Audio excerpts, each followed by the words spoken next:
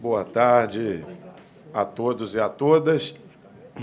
Declaro aberta a nona sessão ordinária do órgão especial do Colégio de Procuradores de Justiça. Cumprimento o eminente corregedor-geral do Ministério Público, doutor Ricardo, secretária do colegiado, doutora Carla, eminentes pares, integrantes deste colegiado, que se encontram presencialmente e virtualmente. É, todos já devem ter recebido as atas, então submeto a, as atas da sétima sessão ordinária e da oitava sessão ordinária, realizada, realizadas nos dias 18 de julho de 2022 e 8 de agosto do mesmo ano, respectivamente, e indago se estão todos de acordo. Então, declaro aprovadas as atas, com a abstenção daqueles que não estiveram presentes. Faço uma saudação inicial ao doutor Augusto Dourado, que assume hoje a, a sua posição como integrante nato do nosso colegiado. Muito boa tarde, parabéns, doutor Augusto Dourado. Obrigado. É, senhor presidente, nobres colegas, senhores servidores, eu sempre fui muito bem acolhido aqui, eu agradeço muito a lembrança, a atenção. Eu já venho daqui, aqui desde. Eu, eu fiz parte dos eleitos, né? Sim. Foi a primeira, minha primeira participação aqui no colégio. Depois estive aqui como suplente de nato e sempre recebi, desde daquela época de eleito, um, é, um, um acolhimento muito atencioso, com muito respeito, e, e, eu tenho muito prazer de participar desse colegiado. Eu tenho uma, é, eu sou às vezes até meio chato, né, meio incômodo com as minhas participações é tão frequentes. E eu, eu, é, eu tenho muita responsabilidade porque eu estou ocupando o lugar após a, aposentadoria do nosso estimado colega Artulei. Né? É uma responsabilidade muito grande, mas eu vou fazer, me esforçar ao máximo para cumprir meu dever aqui. Muito obrigado, Senência. Obrigado, doutor Augusto Dourado. O senhor sempre contribui muito com esse colegiado. É um prazer tê-lo agora na, na, qualidade de membro nato. Prazer enorme tê-lo conosco nessa condição e sucesso, como o senhor sempre bem desempenhou as suas funções aqui. É, considerando que estamos com um problema técnico com os, os integrantes que se encontram presentes virtualmente, eu vou é, pular o primeiro item da pauta, que é a composição da mesa receptora e apuradora da, da eleição do Conselho Superior e vou para os itens de distribuição, enquanto fazemos o, o reparo é, técnico. Pra, é, item 2, peço, é, peço que a Cíntia se posicione. Item 2, processos para distribuição. Em razão da, da quantidade de processos, daremos é, continuidade ao rodízio que se iniciou no dia 8 de agosto. A Cíntia já está posicionada, então, portanto, iremos iniciar a distribuição. 2.1, processo CI 0039457. Ah, tem que, tem que... É, é, desculpa, por favor. Boa tarde. É, tem que botar as bolinhas. Se Deus quiser, nós estamos com dois projetos na sessão administrativa, a gente vai decidir definitivamente isso. Um deles, inclusive, desenvolvido aqui pela, pela direção do, da nossa, dos órgãos colegiados, o Ricardo apresentou uma outra proposta também, muito bem feita. Parabéns, Ricardo. E aí, na sessão administrativa, porque a gente precisa definir com a questão regimental, mas já temos a, a dia 19, é, é, próxima segunda-feira. Próxima segunda-feira. Vamos lá, Cíntia, por favor. Doutora Telecheia.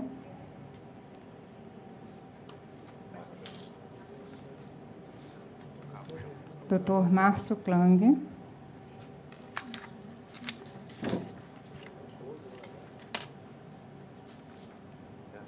Doutor Marfan.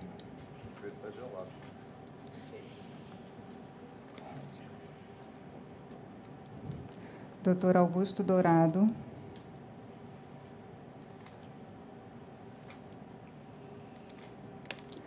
Doutor José Roberto Paredes.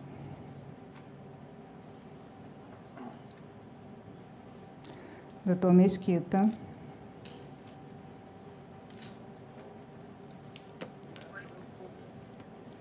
Doutor Jataí.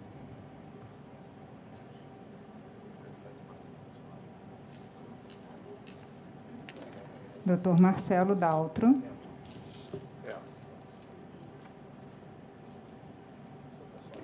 Doutora Márcia Tamborini.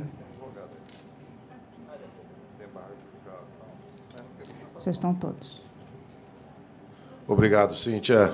É, item 2.1, processo SEI 0039.457-2021-34, minuta de resolução que altera as atribuições das primeiras, segunda e terceiras promotorias de justiça e tutela coletiva de São Gonçalo. Em distribuição. Doutora Telecheia. Distribuída a doutora Telecheia. 2.2, processo SEI 0022-158-2021-52, minuta de resolução que extingue a 5 Promotoria de Justiça, Tutela Coletiva e Defesa do Consumidor e do Contribuinte da Capital e acresce as suas atribuições às primeiras, segunda, terceira e quarta Promotorias de Justiça, Tutela Coletiva e Defesa do Consumidor e do Contribuinte da Capital. Em distribuição. Doutor Augusto Dourado. Distribuído ao doutor Augusto Dourado. 2.3, processo SEI 0011-299-2020-17, minuta de resolução que altera as atribuições das primeiras e segundas promotorias de, de Justiça, Infância e Juventude de Niterói. Em distribuição. Doutora Márcia Tamburini. Distribuído a doutora Márcia Tamburini. 2.4, processo 6.000.1739-2021-17, minuta de resolução que altera as atribuições da primeira, das primeiras e segunda Promotoria de Justiça de Tutela Coletiva de Nova Friburgo. Em distribuição. Doutor Marcelo Dalto. Distribuído ao doutor Marcelo Dalto. 2.5, processo 6.017.853.2020-84, é, correção ordinária na 5 Promotoria de Justiça Tutela Coletiva de Defesa do Consumidor e do Contribuinte da Capital. Redistribuição na forma do artigo 16, parágrafo 2 do Regimento Interno do Colégio de Procuradores. Em distribuição. Doutor Márcio Klang. Distribuído ao doutor Márcio Klang. 2.6, processo CI 000-9048-2021-69, correção ordinária realizada na segunda Promotoria de Justiça Tutela Coletiva do Núcleo Duque de Caxias. Redistribuição da mesma forma.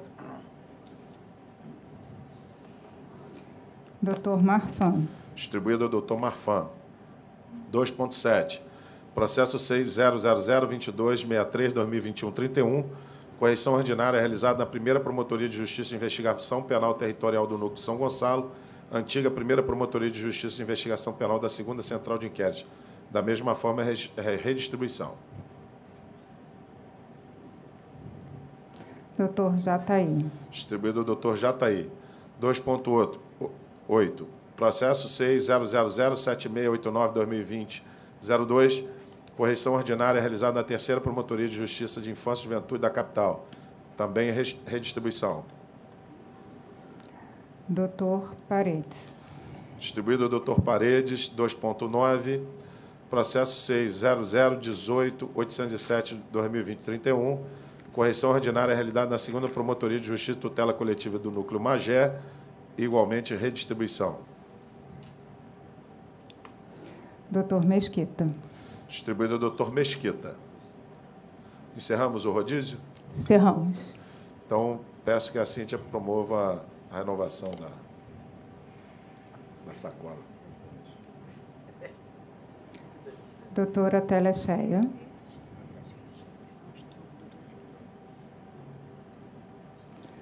Doutor Hugo Gerck.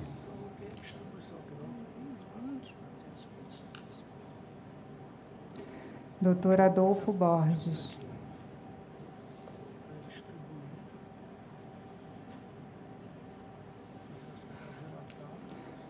Doutor Márcio Klang.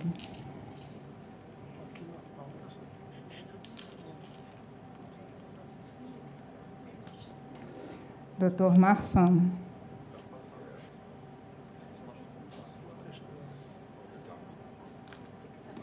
Doutor Leone.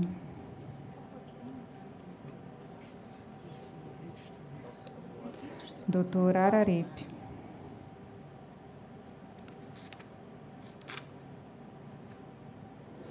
Doutor Augusto Dourado.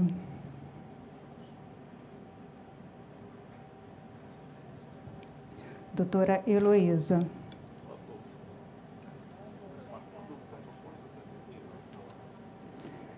Doutor José Paredes. Achei que ele viesse, estava tudo preparado aqui. Agora que eu tô Ele entrou Doutor Mesquita.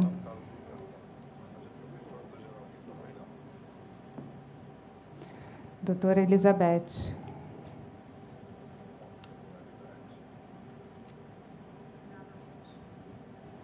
Doutor Jataí.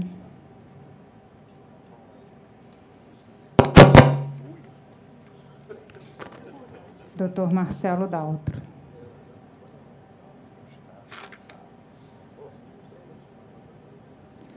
Doutora Ângela. Ainda tem mais oito redistribuições. Ainda tem mais oito redistribuições. Doutora Márcia Tamburini.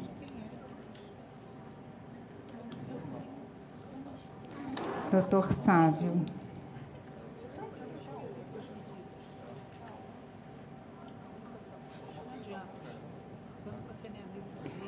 Doutor Márcio Nobre.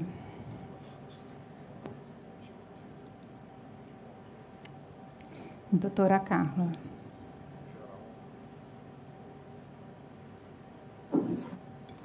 Estão todos. Obrigado, Cíntia. Retomando, então, a, a distribuição. Item 2.10, processo 6007750-2021-98, correção ordinária na Promotoria de Justiça Civil de Campos dos Goitacazes, é, redistribuição. Doutora Elizabeth. Distribuidor doutora Elizabeth. 2.11, processo 60039-117-2021.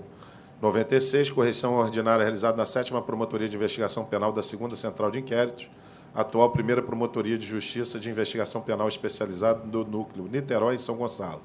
Redistribuição na forma do artigo 16, parágrafo 2 do regimento. Doutor Marfan. Distribuído doutor Marfan.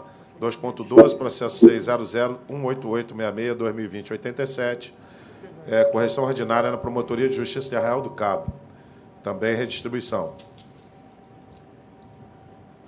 Doutor Augusto Dourado. Distribuído doutor Augusto Dourado. Processo 6000-8703-2020-75, correção ordinária realizada na segunda Promotoria de Justiça de Infância e Juventude Infracional da Capital. Da mesma forma, é uma redistribuição. Doutor Araripe. Distribuído doutor Alexandre Araripe, 2.14, processo 0029-304-2021-43, correção ordinária na primeira Promotoria de Justiça, junto à quarta Vara Criminal de Nova Iguaçu, também redistribuição. Doutora Carla. Distribuída a doutora Carla, 2.15, processo 60028-892-2021-12, correção ordinária realizada na Promotoria de Justiça de Cordeiro, igualmente é uma redistribuição. Doutor Jataí. Distribuído ao doutor Jataí. Processo 60037-184-2021-04, correção ordinária realizada na primeira Promotoria de Justiça Civil de Família de Itaboraí. Redistribuição na forma do artigo 16, parágrafo 2 do regimento. É distribuição. Doutora Ângela. Distribuído doutora Ângela, 2.17, processo 6 0002989-2021-23, correção ordinária realizada na segunda Promotoria de Justiça Criminal de Rio das Ostras, redistribuição. Doutora Márcia Tamburini. Distribuída doutora Márcia Tamburini, 2.18, processo 6 0018-153-2021-32, correção na, na terceira Promotoria de Justiça Tutela Coletiva de Proteção e Educação da Capital, em distribuição. Doutora Heloísa. Distribuída doutora Heloísa. 2.19, processo SEI é, 0010410-2020-61, correção ordinária na segunda Promotoria de Justiça de São Pedro da Aldeia. Em distribuição. Doutor Adolfo Borges. Distribuído ao doutor Adolfo Borges. 2.20, processo 60030-272-2020-03, correção ordinária realizada na, no extinto Núcleo de Apuração Criminal, NAC, em distribuição. Doutor Márcio. Distribuído doutor Márcio Nobre. Bom, encerramos ah, os processos da distribuição. Tive a informação de que houve o reparo da, ah, do- da equipe técnica. Eu, eu pediria que alguém da, que esteja eh, virtualmente pudesse fazer o uso da palavra para testarmos aqui o, o som. Me ouve, senhor presidente. Alexandre Arepe Marinho. Sim, sim. Acho que agora é só ajustar o volume. Ficou bom. Tá, agora o volume tá bom? Tá ajustado? Tá, Tá, certo? tá- tá tá ouvindo bem? Tá bom, né? Então, ok. Ok, então prosseguiremos. É, voltemos então ao item 1, por favor. É, primeiro item da pauta, processo 6003614-2022-66, eleições para preenchimento de oito vagas no Conselho Superior do Ministério Público para o biênio 2023-2025, pelo voto dos procuradores de justiça e dos promotores de justiça. Apreciação dos requerimentos de inscrição dos candidatos e escolha da mesa receptora e apuradora. Requerendo inscrição os seguintes procuradores de justiça. Pelo voto dos procuradores de justiça: Ângela Maria Silveira dos Santos, João Carlos Brasil de Barros, Cátia Aguiar Marques Celes Porto, Luiz Antônio Correia Aires, Luiz Fabião Guasque, Márcio Moté Fernandes, Sumaia Terezinha Elael. Pelo voto dos promotores de justiça: Antônio José Campos Moreira, Cláudio Varela, Conceição Maria Tavares de Oliveira, Flávia de Araújo Ferrer, Marcelo Pereira Marques. Marques. Informo que não houve impugnação a nenhuma dessas candidaturas. Sendo assim, indago, é, evidentemente a doutora Ângela encontra-se impedida, é, aos demais, se há alguma objeção, podemos homologar as, as candidaturas? De acordo. Bom, não havendo objeção, portanto, é, foi deferida as candidaturas, ora apresentadas, por unanimidade, com abstenção da doutora Ângela Maria Silveira dos Santos, que é uma das candidatas. Bom, para inte- integrar a mesa receptora e apuradora, eu indico a, a, a doutora Maria Cristina Palhares dos Anjos Telecheia, que de todos, não, quase ela não é escolhida para a função, já quase. todos estão impressionados com a indicação.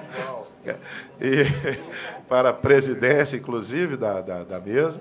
E indico também o doutor Alexandre Marinho e o doutor Marcelo Dalto Leite todos para compor, portanto, a, a, a, a mesa apuradora e receptora. Senhor presidente, Pois não. senhor, presi- senhor presidente, só- me confirma, por gentileza, a data do, do- do- do- da eleição. 7 de novembro. 7 de Tá novembro. ok. Tá ok, sem problema. Bom, indago aos demais integrantes do colegiado, com a, com a surpresa da indicação da doutora Telecheia para a presidência. Se estão todos de acordo com a indicação. Portanto, aprovados os nomes. Presidente, pela ordem. Oi, Pois não, Eu, desculpe, presidente. pois não. É, 7 de novembro, pela minha agenda, Carlos Roberto já está aí. Há uma sessão marcada, Isso, é. logo especial às 13h30. Sim. É, isso não seria um impeditivo? Estou só perguntando. Não, não, já foi modificado. Eu, eu- eu vou pedir que. O que? A, A sessão passou para 21. é, do 7 foi para o dia 21, mas eu vou pedir para a diretoria aqui encaminhar uma, um novo cronograma eh, atualizado e lembrando a todos que houve essa alteração. Mas não tem. Muito obrigado, presidente. Obrigado aí pela lembrança. É, 21 não podia ter essa Não, é, é, nós tivemos que adiar uma sessão, acho que da, do Conselho, dia 24. É dia do Jogo do Brasil. É, dia 21 não temos impedimento. Não temos nenhum problema. É, começa, é, é. Provavelmente deve ter algum jogo. Já deve ser durante a Copa. Bom, é, Bom, se fosse o jogo do maior time do Brasil, né, doutor Sávio, não teria a menor condição de ter sessão aqui. Do Vasco da Gama. Ou então é, ou então jogo de Portugal. Entre outros, em dois países. Feriado ultramar. Mas vamos lá. Então, ah, Então, aprovados por unanimidade os nomes do- dos doutores, eh, da doutora Maria Cristina Palhares dos Anjos Telexé, doutores Alexandre Araripe Marim e Marcelo Dalto Leite, para, sob a presidência da primeira, integrar a mesa re- receptora e apuradora das eleições destinadas ao preenchimento de oito vagas no Conselho Superior do Ministério Público para o biênio 2023-2025. Voltemos ao- ao- aos processos para relatar. E. É, é porque é, a posse é fevereiro. Ah, a posse é só em fevereiro. É. É, como temos feito com regularidade, é, nós faremos o julgamento em bloco dos processos de correição e já registro que o doutor Márcio Clande pediu a retirada de pauta do item 3.2.4. Então, vou chamar os processos a julgamento. 3.1.1, processo SEI 0028-925-2021-91, correição ordinária realizada na segunda Promotoria de Justiça tutela coletiva do Núcleo Cordeiro, relatora doutora Carla Araújo. Processo 3, é, 3.2.1, processo 0056396-2021-36, correção ordinária na Promotoria de Justiça junto à 11ª Vara Criminal, relator doutor Hugo Gerck. 3.2.2, processo 60025-051-2020-29, correção ordinária na Promotoria de Justiça tutela coletiva da Infância e da Juventude Infracional da Capital, relator Adolfo Borges.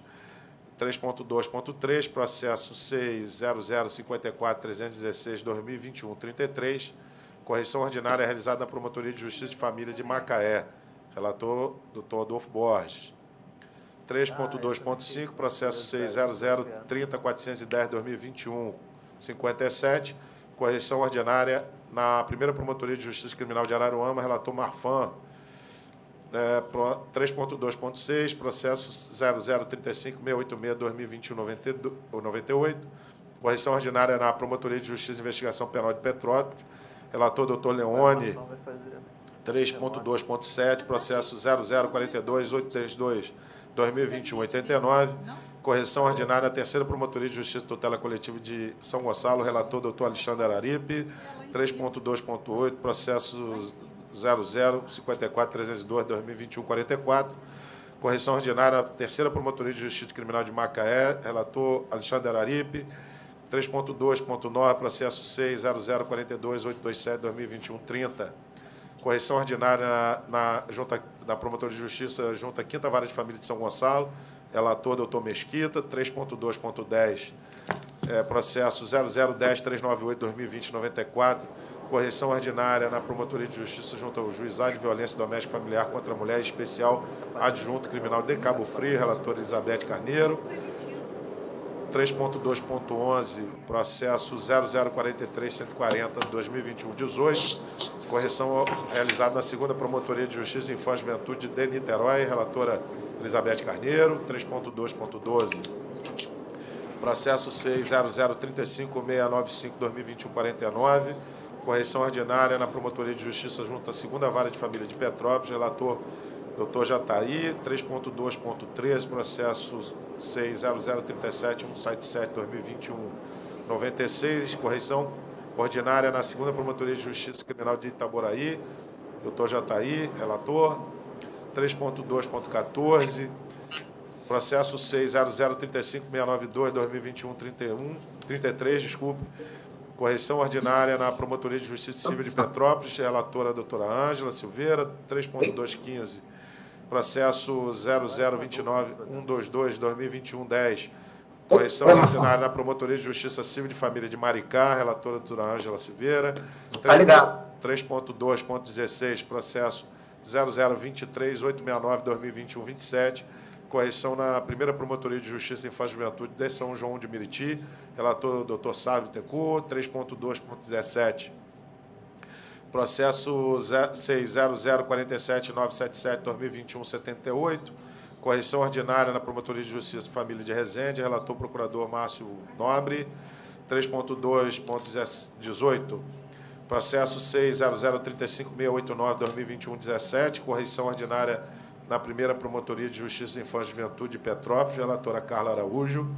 Sendo assim, é, registro o impedimento do Corregedor-Geral, doutor Ricardo Ribeiro Martins, e indago-se dos processos chamados a, a, a julgamento, se há algum destaque a ser feito. Bom, não havendo nenhum destaque é, e nenhuma objeção, proclamo o resultado do julgamento em bloco desses processos, no sentido da ciência e homologação dos relatórios de correção com, com posterior arquivamento, é, resultado esse obtido por unanimidade. Próximo item da pauta, 3.2.19. É, salvo engano, temos representantes da Subprocuradoria-Geral de Planejamento e Política Institucional, doutora Renata.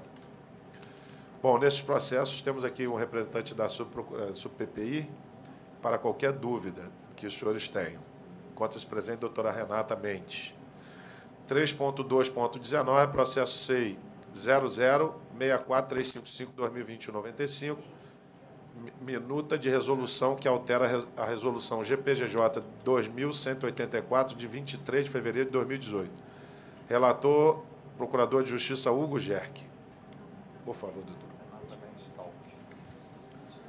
Senhor presidente, ilustres pares, é, o processo é extremamente simples, né?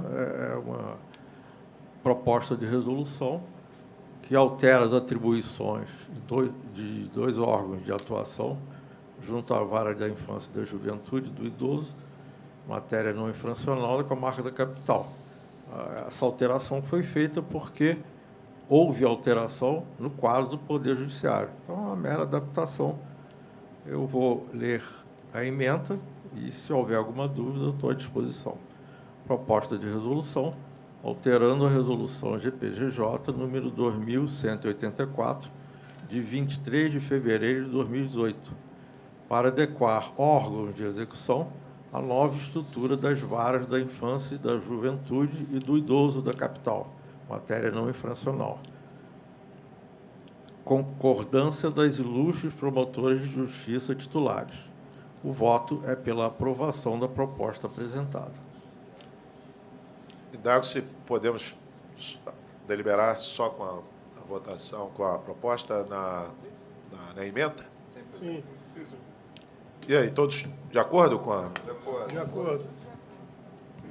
Então, proclamo o resultado deliberado por unanimidade pela aprovação da minuta de resolução nos termos do voto do relator. E 3.2.20, processo SEI 0027-317-2020-54, embargos de declaração oposta em face de acordo no sentido da perda do direito de uso do colar do mérito do Ministério Público do Estado do Rio de Janeiro. Advogados Gustavo da Rocha Smith, OAB 108761, João Ricardo Lutherbach, Habib Gomes, OAB RJ 2021 947 e outros. Procura, relatora Procuradora de Justiça Heloísa Maria Alcofra Miguel. Boa tarde Com a palavra, a todos. doutora. Heloísa. Obrigada. É, eu, de começo, por força do que se pode até ler pela emenda, eu já estou desprovendo os aclaratórios. Eu vou ler.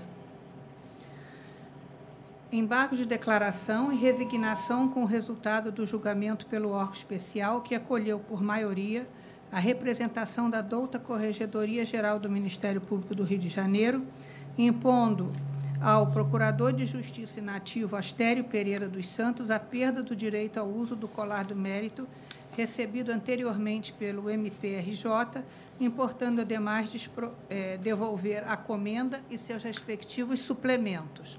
Recurso interposto com finalidade de efeitos modificativos na matéria. Parecer pelo conhecimento e desprovimento dos aclaratórios.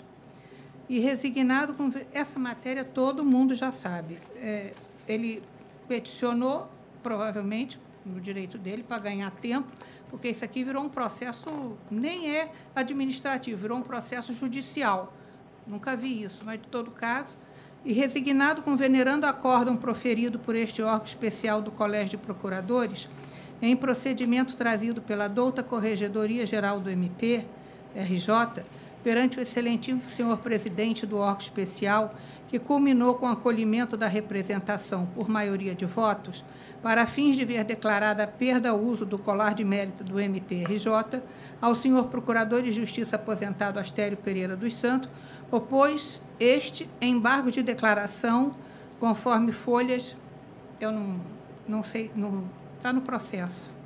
Aduz o embargante, consoante leitura da peça em questão, que até o momento não houve sentença condenatória em seus processos criminais, sendo princípio basilar da ordem constitucional a presunção de inocência ou não culpabilidade do acusado. E tal inocência funciona como regra de tratamento do acusado ao longo do processo, não permitindo que ele seja equiparado ao culpado. Alega que todo processo criminal não se sustenta e que não foi considerado pelo órgão especial o problema da incompetência do juízo da Sétima Vara Federal Criminal sendo que o juízo da Quinta Vara Federal Criminal, para onde foram direcionados os feitos, até o momento, julho de 2022, não teria convalidado o recebimento das denúncias anteriormente, anteriormente levada a efeito pelo eminente juiz federal Marcelo da Costa Bretas. Conclui esperando sejam conhecidos e providos os presentes declaratórios a fim de serem sanadas as omissões que entende tenham ocorrido, rejeitando-se a representação formulada pela Colenda Corregedoria Geral do Ministério Público do Rio de Janeiro. Este é o sucinto relatório.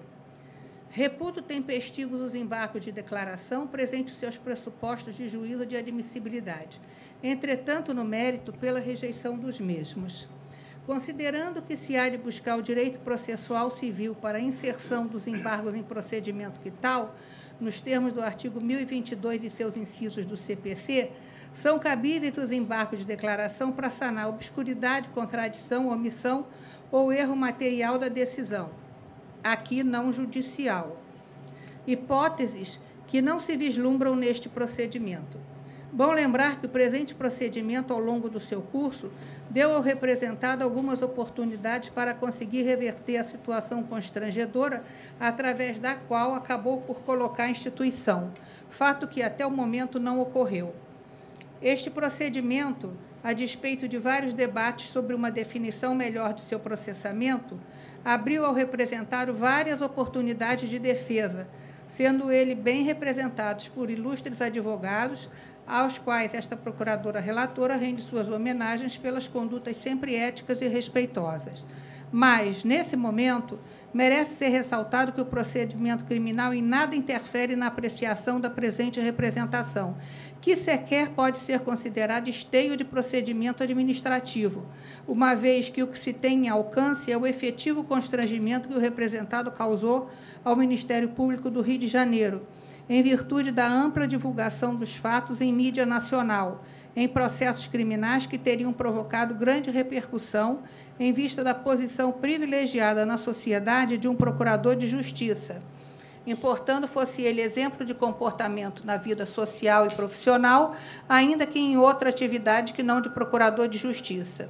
De qualquer forma, a jurisprudência do Supremo Tribunal Federal é firme no sentido da independência entre as instâncias civil, penal e administrativa, não havendo que se falar em violação dos princípios da presunção de inocência e do devido processo legal pela aplicação de sanção administrativa, por descumprimento de dever funcional, fixado em processo disciplinar legitimamente instaurado antes de finalizado o processo civil ou penal em que sejam apurados os fatos idênticos, conforme aí eu citei um, um julgado do, do ministro Dias Toffoli, de 2014. Eu pesquisei a matéria e achei esse pertinente, mas também não transcrevi, porque, pela indicação que eu fiz, é fácil procurar.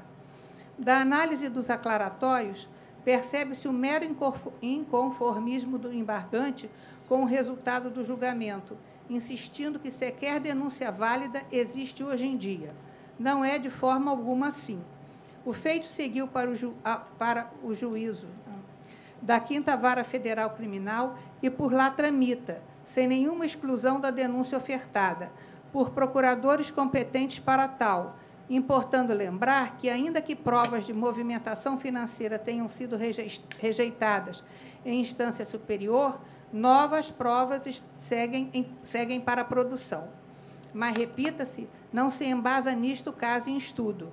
Importa apreciar se isto sim o dano causado ao Ministério Público, como instituição permanente, essencial à função jurisdicional do Estado, incumbindo-lhe a defesa da ordem jurídica, do regime democrático e dos interesses sociais e individuais indisponíveis. Artigo 127 da Constituição Federal. Tendo, portanto, como bem consignado na representação inaugural da Colenda Corregedoria Geral do Ministério Público do Estado do Rio de Janeiro, precedentes desse egrégio órgão especial do Colégio de Procuradores, no sentido de que a imediata cassação do direito ao uso da comenda não afronta a presunção de inocência ao dispensar o trânsito em julgado, uma vez que se está em sede de honrabilidade, probidade, respeitabilidade e benemerência. Benemerência?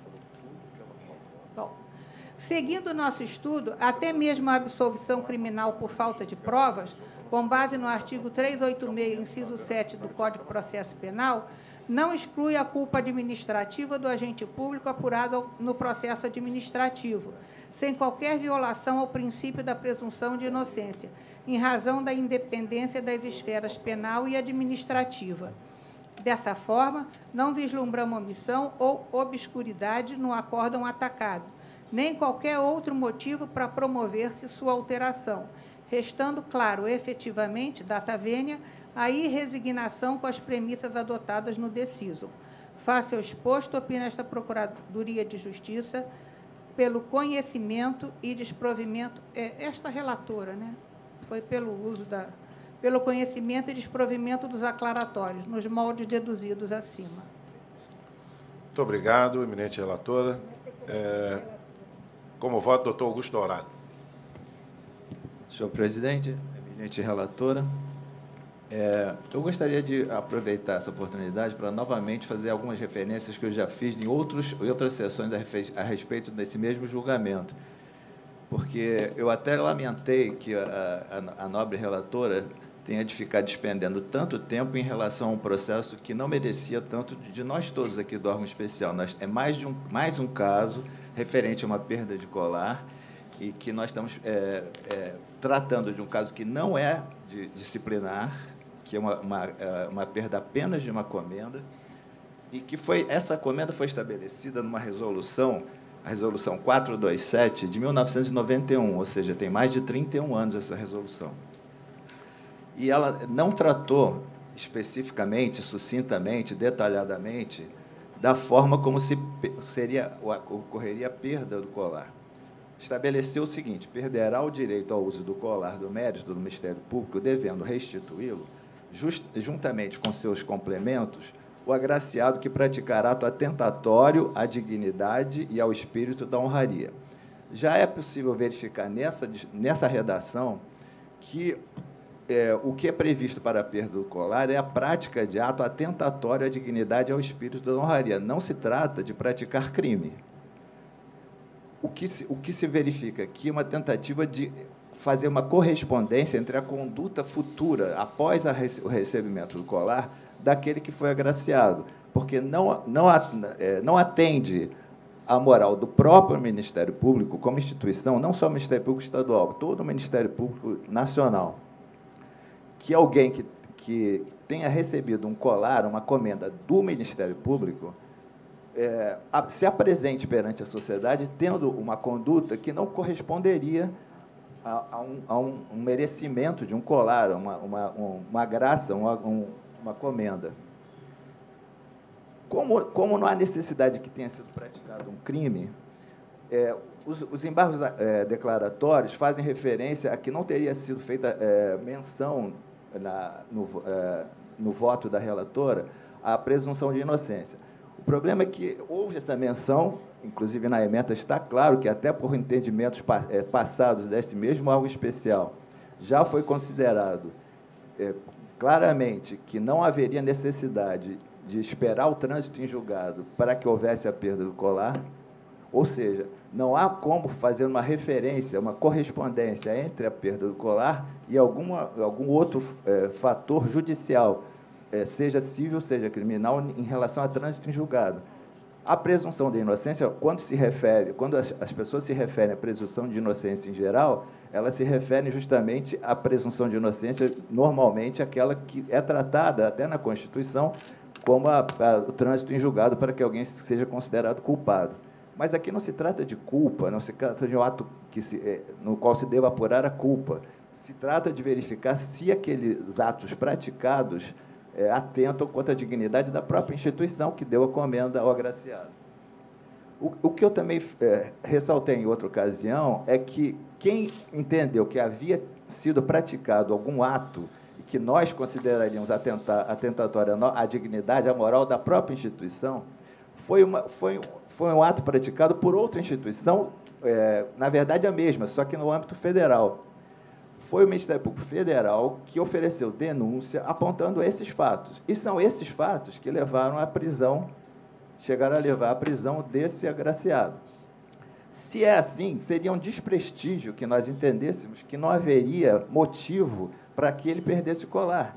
Porque o próprio Ministério Público, em outra, em outra esfera, entendeu que aqueles fatos eram muito graves, tanto que justificavam até a prisão. A prisão é algo que vai aparecer para a sociedade em geral, atentando contra a própria moral do Ministério Público como instituição. Então, é, o próprio Ministério Público já examinou os atos já, e já considerou que esses atos eram atentatórios a dignidade da própria instituição. Não correspondiam, não eram a, a, condizentes com a, a entrega, a, permanência do uso do colar. Como, como não houve essa falta, essa omissão na, no voto da eminente relatora, eu continuo entendendo, como já fiz, que eu, eu, acompanhando inteiramente a relatora até no mérito, em relação aos embargos declaratórios, não haveria como mudar minha posição, eu acompanho a relatora. Obrigado. Muito obrigado doutor Augusto Dourado. É, doutor Alexandre Aripo Marinho, como vota? Senhor presidente, embargo de declaração se limita a verificar se existe contradição ou omissão na, na decisão embargada. E eu, eu conheço o, o acordo, embora eu tenha votado contrariamente, não vislumbro nenhuma, nenhuma omissão ou qualquer motivo para que se pro, eh, para provimento dos embargos, de modo que eu estou encaminhando meu voto, é, votando com a relatora no sentido de que seja negado provimento aos embargos. Muito obrigado. Como vota doutor Leone? Com a relatora, senhor presidente. Muito obrigado. Como vota doutor Márcio Klang?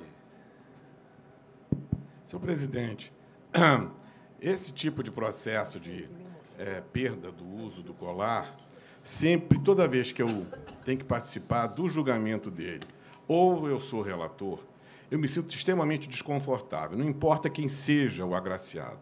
Por quê? Porque a nossa resolução que regula a matéria, ela é um primor de omissão. Ela fala tudo que não precisa falar e não fala tudo que precisa falar. Isso é muito comum, aliás, na legislação brasileira. Você tem 537 artigos sobre testamento, que quase ninguém faz, e assuntos importantíssimos do Código Civil, o Código Civil é absolutamente omisso. É muito frequente isso. Bom, o que eu quero dizer com isso é o seguinte: está na hora de mexer nessa resolução. Porque, por exemplo, eu acho assim: há certos episódios da vida institucional que a gente fica sabendo pela mídia. E a mídia tem como produto final a notícia, não necessariamente a verdade, mas a justiça, a, a, a notícia. O que eu quero dizer com isso é o seguinte: eu acho que você é, eu não vou discordar da relatora, não há nenhuma omissão, embargos de declaração há muitos anos virou um novo recurso para discutir toda a matéria de novo. Não vou novamente rediscutir isso. Mas o que eu quero chamar a atenção é o seguinte: talvez fosse o caso de se pensar numa nova resolução, e nessa nova resolução criar a figura da suspensão do direito ao uso. Porque às vezes é precipitado você caçar e depois lá na frente ele é absolvido. É, nós temos agora um caso muito notório em que o réu desta ação penal pública, superpública, hiperpública, acabou tendo todas as condenações cassadas pelo Supremo Tribunal Federal, tanto é que ele é candidato, é um dos candidatos a presidente da República. Não estou fazendo política, estou registrando um fato. Isto é um fato. Há Ele era condenado e deixou de ser condenado.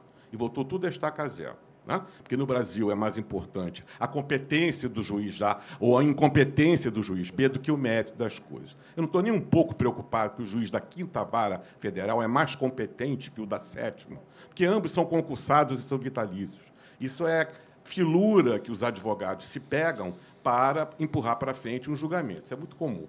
E assim como esse, em vários outros casos. Resumindo a opereta, está na hora de mudar a resolução, me parece e criar a figura da suspensão. Se está tudo muito complicado para A ou para B, vamos suspender o direito de uso e dar um prazo para ver se, nesse prazo, aquela verdade se apura ou não.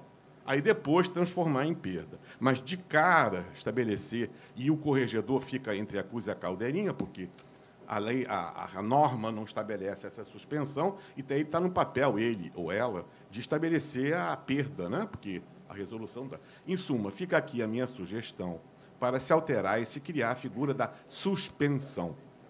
É muito drástico, tanto para o próprio é, titular daquele colar, como para quem decide sobre aquilo, é uma coisa muito melindrosa e só em cima de notícias de mídia, muitas vezes. Tá? É a minha sugestão. E voto com a relatora, não tem nenhuma omissão aqui, é só para empurrar com a barriga. Muito obrigado. Como, como voto, doutor Adolfo Borges Filho. É, senhor presidente, ilustres colegas, eminente corregedor, eu também acompanho a, a doutora relatoria, é, negando provimento aos embargos.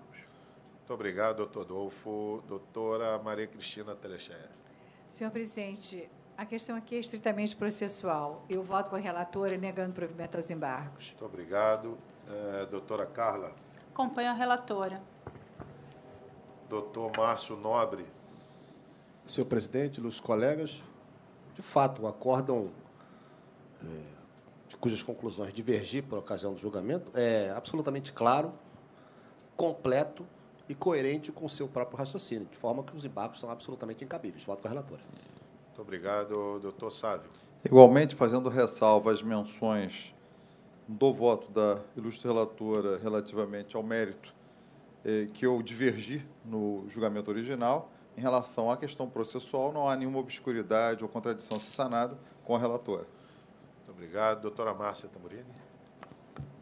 Senhor presidente, Está sem. Está sem, sem som. Senhor presidente, endossando o voto da doutora relatora, é só para lembrar que tem sido cada vez mais usual o manejo dos embargos de declaração como substitutivo de outros recursos.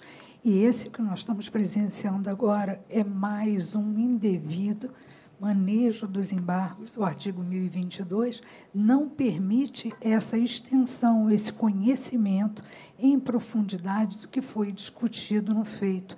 Portanto, eh, nada a acrescentar ao que a eminente relatora diz. E só louvando mais uma vez o primor do voto que foi proferido anteriormente. Muito obrigado. É, doutora Ângela. É, boa tarde a todos. Também sigo inteiramente, não só no mérito, como eu segui da outra vez, mas também sigo, no momento, a doutora relatora. Muito obrigado. Acompanhe. Doutor Márcio, Marcelo Daltro. Senhor presidente, acompanho a relatora também. Obrigado. Doutor Jataí. Senhor presidente, a questão é, como já dito, meramente processual, não há obscuridade, omissão ou contradição, ressalvando, portanto, a questão do mérito, onde fui vencido, e pelo princípio da colegialidade, eu voto com a relatora. Obrigado. Doutora Elizabeth Carneiro. Voto com a relatora. Muito obrigado. Doutor Mesquita. Com a relatora. Muito obrigado. Doutor Paredes. Eminente presidente, estão me ouvindo? Sim. Eminente presidente, outros colegas, eminente corregedor, eu vou acompanhar a relatora. Não vejo nenhuma hipótese ensejadora de embargos.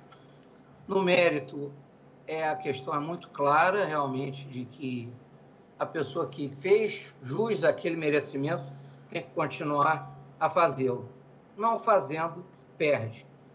Eu não, não tenho, por hora, posição sobre a suspensão, mas acho que a ideia de uma revisão desta resolução para aperfeiçoar mecanismos sempre é bem-vinda. Submeto a Vossa Excelência. Muito obrigado, doutor Paredes.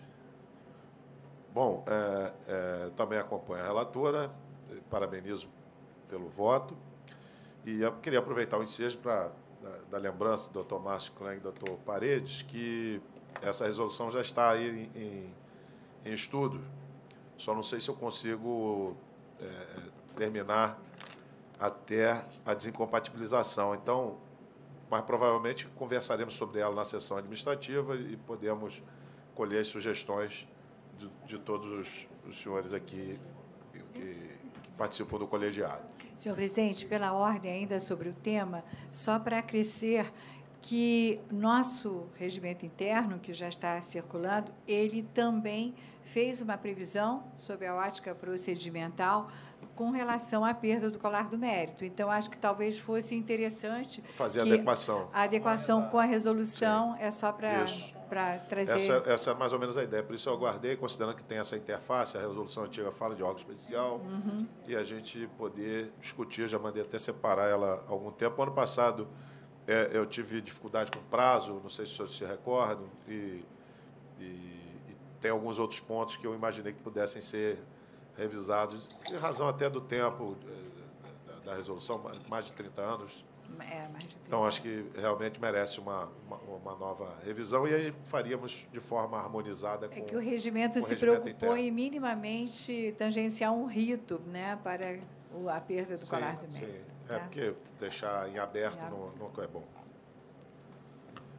Então é isso. Então proclamo o resultado alcançado por unanimidade, registrando o impedimento do do doutor corregedor, doutor Ricardo, a suspeição já declarada nos autos do doutor Marfan e do doutor Gujerque. Portanto, o resultado é alcançado por unanimidade, pelo conhecimento e desprovimento dos embargos de declaração nos termos do voto da, da eminente relatora. Processo 6 é para item 3.2.21, processo 6 0040 930 2022 30 minuta de deliberação que regulamenta a eleição para a formação de lista tríplice destinada ao provimento do cargo de Procurador-Geral de Justiça no BN 2023-2025. Relator Procurador de Justiça Márcio José Nobre de Almeida. Senhor presidente, os colegas desse órgão especial, é, no voto que encaminhei ainda no mês de agosto, eu registrei que estamos, mais uma vez, reproduzindo a sistemática que vem sendo adotada, especialmente nas últimas eleições, a última já com o procedimento, com a utilização do nosso sistema eletrônico de votação, que é um muito bem sucedido, é, muito bem utilizado, funciona com perfeição, é, e, e com o aval também da consultoria jurídica e do, nosso setor de informática, que, mais uma vez, se disponibilizou a, a providenciar todos os procedimentos necessários, apenas com a, a diferença que é registrada até pelo pela manifestação da outra consultoria, de que nós não teremos aqueles, aquelas restrições né, decorrentes da, da pandemia e, mesmo sendo uma votação exclusivamente eletrônica, é, teremos também, como já tivemos nas outras vezes, a possibilidade de que os colegas que assim o desejassem compareçam à sede e façam essa votação aqui, desde que munidos do seu equipamento para a identificação. De maneira que o meu voto é pelo acolhimento da minuta de resolução. Indago se estão todos de acordo. Sim. Bom, então, sendo assim, proclamo o resultado deliberado por unanimidade pela aprovação da minuta de deliberação que regulamenta a eleição para a formação de lista tríplice destinada ao provimento do cargo de Procurador de Justiça no BN 2023-2025, nos termos do voto do eminente relator. Vencida a pauta, indago se há assunto geral a tratar. Eu tenho, presidente. Senhor.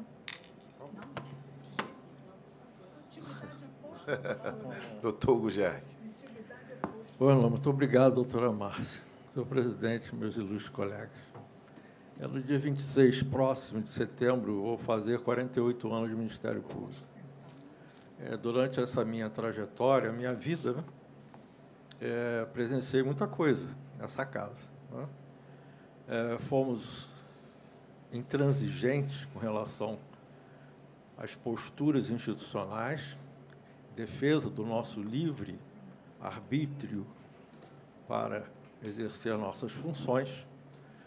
É, chegamos a fazer uma vigília institucional, nós participamos, estivemos em Brasília várias vezes. Estou vendo aqui o doutor Marfan, que foi um baluarte aí nessa, nessa luta, né? começou pela Lei 40, Lei Complementar 40, e depois na própria Constituição, que inseriu as atribuições do Ministério Público. E agora, com muita tristeza, eu vejo o nosso Ministério Público né, ser deixado de lado, abandonado. É, com essa mesma tristeza, eu li é, no site da revista Oeste uma notícia de que a ministra, vou reproduzir, a ministra Rosa Weber, do Supremo Tribunal Federal, decidiu nesta quinta-feira, dia 8, que vai supervisionar um pedido para que a Procuradoria-Geral da República investigue o presidente Jair Bolsonaro, PL, sobre encontro com alguns embaixadores. Mais abaixo vem outra notícia. Rosa Weber também determinou que a Procuradoria-Geral da República encerre uma apuração que eles próprios haviam aberto para investigar o encontro com os embaixadores. Agora, a ministra deseja que uma nova apuração seja conduzida sob a supervisão da Suprema Corte. A parte desse fato, né, nós estamos vendo aí é, propostas do Procurador-Geral da República de arquivamento de inquéritos que são simplesmente ignorados pelo Supremo Tribunal Federal.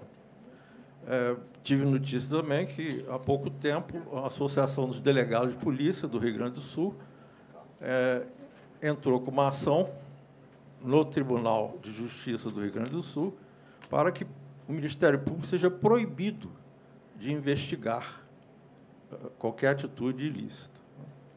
Então, diante desses fatos, senhor presidente, é, é, e pelo meu tempo né, de carreira e tudo, eu fico muito constrangido em ler isso tudo e me quedar calado.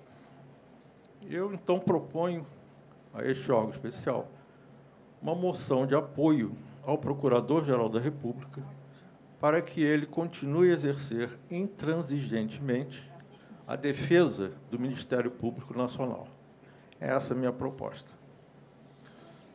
Bom, é, doutor Hugo Ger, com a sua experiência, bem lembrou, e, e todos nós temos acompanhado ah, tudo que tem acontecido no cenário nacional em relação ao Ministério Público uma quadra difícil de, de defesa de prerrogativas. É, como ele bem lembrou, o Ministério Público passou pela fase da construção do seu modelo constitucional, é, lutou para a implementação da, daquele modelo, daquelas regras constitucionais que foram tidas como um avanço ao Ministério Público mundial, né, em todo o mundo. O Ministério Público, o perfil do Ministério Público é considerado um perfil é, é, é muito diferente, mas é exaltado em, em outras partes do mundo. E há algum tempo já um período de lutas pela defesa das nossas prerrogativas, das nossas atribuições, das nossas funções, do nosso perfil constitucional. Eu, o senhor lembrou da passagem da Lei Complementar 40, eu queria aqui ressaltar a PEC 37, que foi uma luta que eu enfrentei na associação, foi por muitos e tive a oportunidade de conviver com vários colegas que participaram desse momento histórico e vivenciavam né, aquele outro tão grave ou até mais grave, porque na, na verdade estávamos lutando para manter e permanecer com, com conquistas importantes, não para nós, para a sociedade.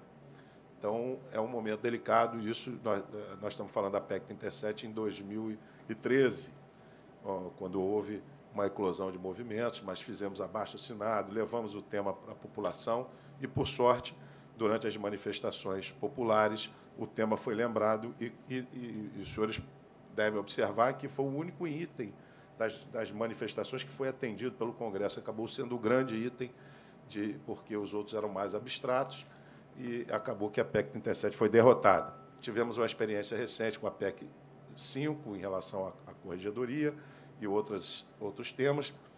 Agora, é, esse tema, essa questão da supervisão judicial é, das nossas é, funções criminais é um tema que já estava sendo olhado com atenção é, é, pelo Conselho Nacional de Procuradores Gerais de Justiça.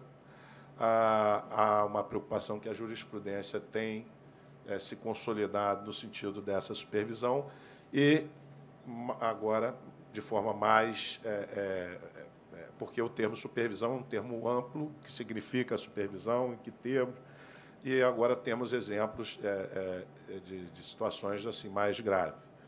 Mas a proposta que eu queria aqui encaminhar, aproveitando a sua, a sua fala, doutor Hugo, já com toda a sua experiência, é que na próxima quarta-feira haverá uma reunião do Conselho Nacional de Procuradores Gerais para a definição das estratégias e de como deve, deveremos enfrentar essa temática, considerando a sua sensibilidade e evidente importância.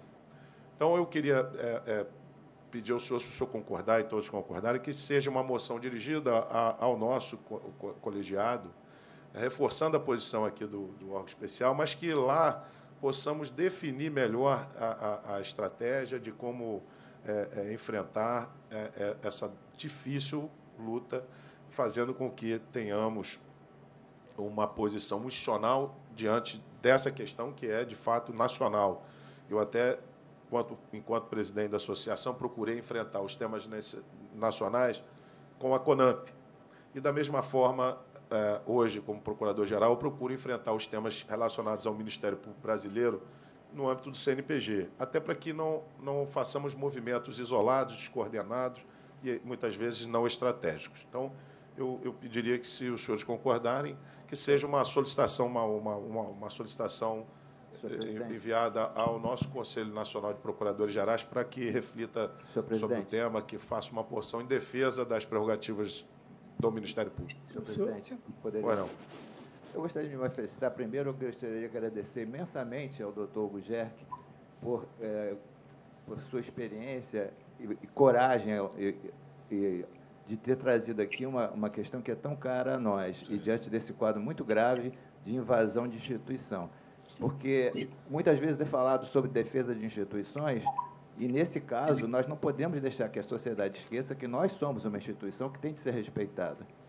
E eu também gostaria de agradecer muito a Vossa Excelência por estar tratando desse caso é, junto com os outros procuradores gerais, porque me parece que esse âmbito dos procuradores gerais é muito mais interessante, politicamente até, porque nós estamos tratando também das autonomias, das autonomias, seja estadual ou federal. Eu prezo muito a questão da autonomia estadual. No, no, caso, nós estamos tendo uma dificuldade no âmbito federal, mas o Ministério Público é atingido sempre em, em, qualquer dessas situações.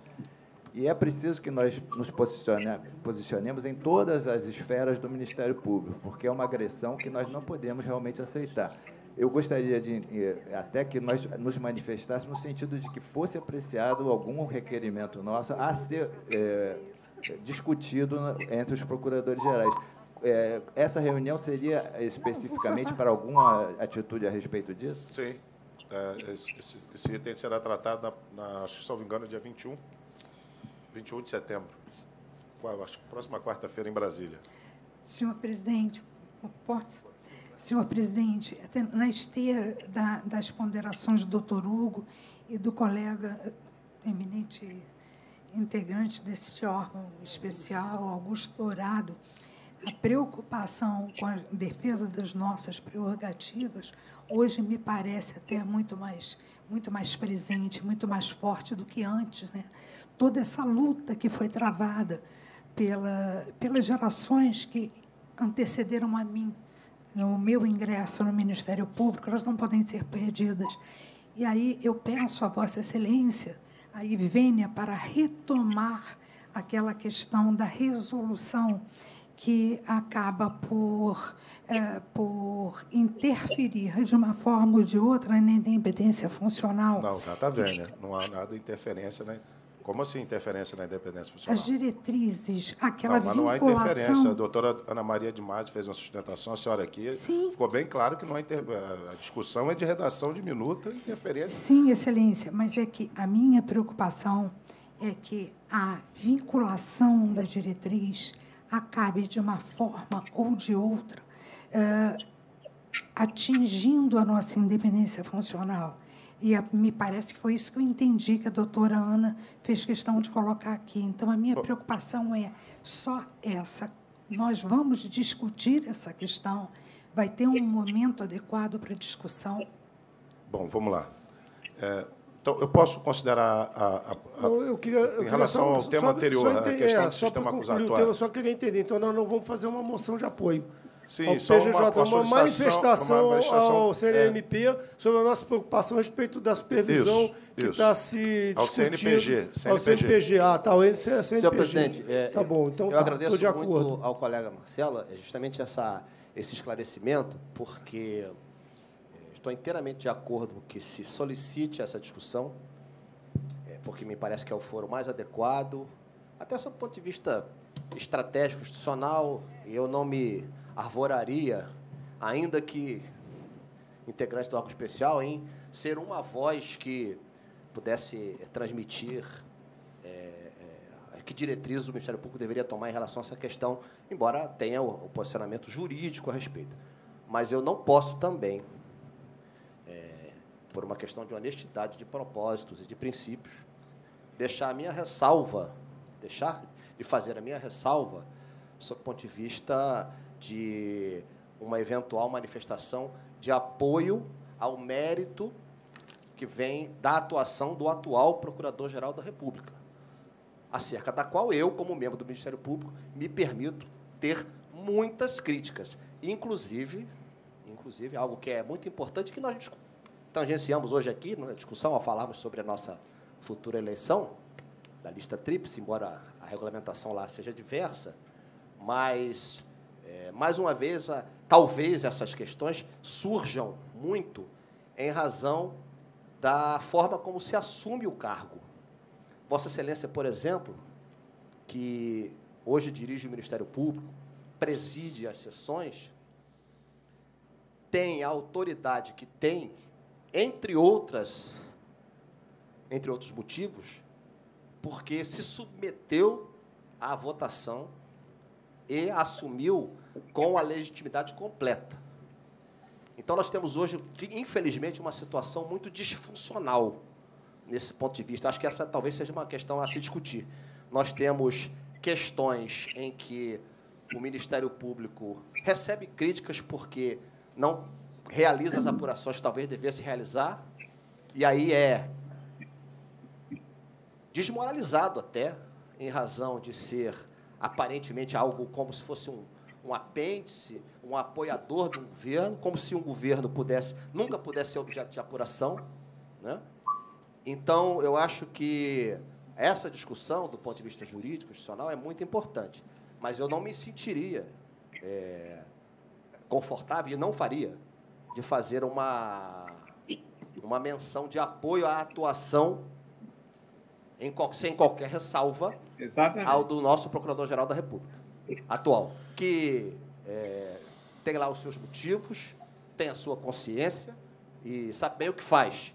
Mas este Procurador de Justiça é, não tem uma. não se sente à vontade para dizer que ele tem sempre razão, que em todos os seus arquivamentos deveriam ser acolhidos imediatamente, até porque eu, eu nem conheço o teor de todos eles.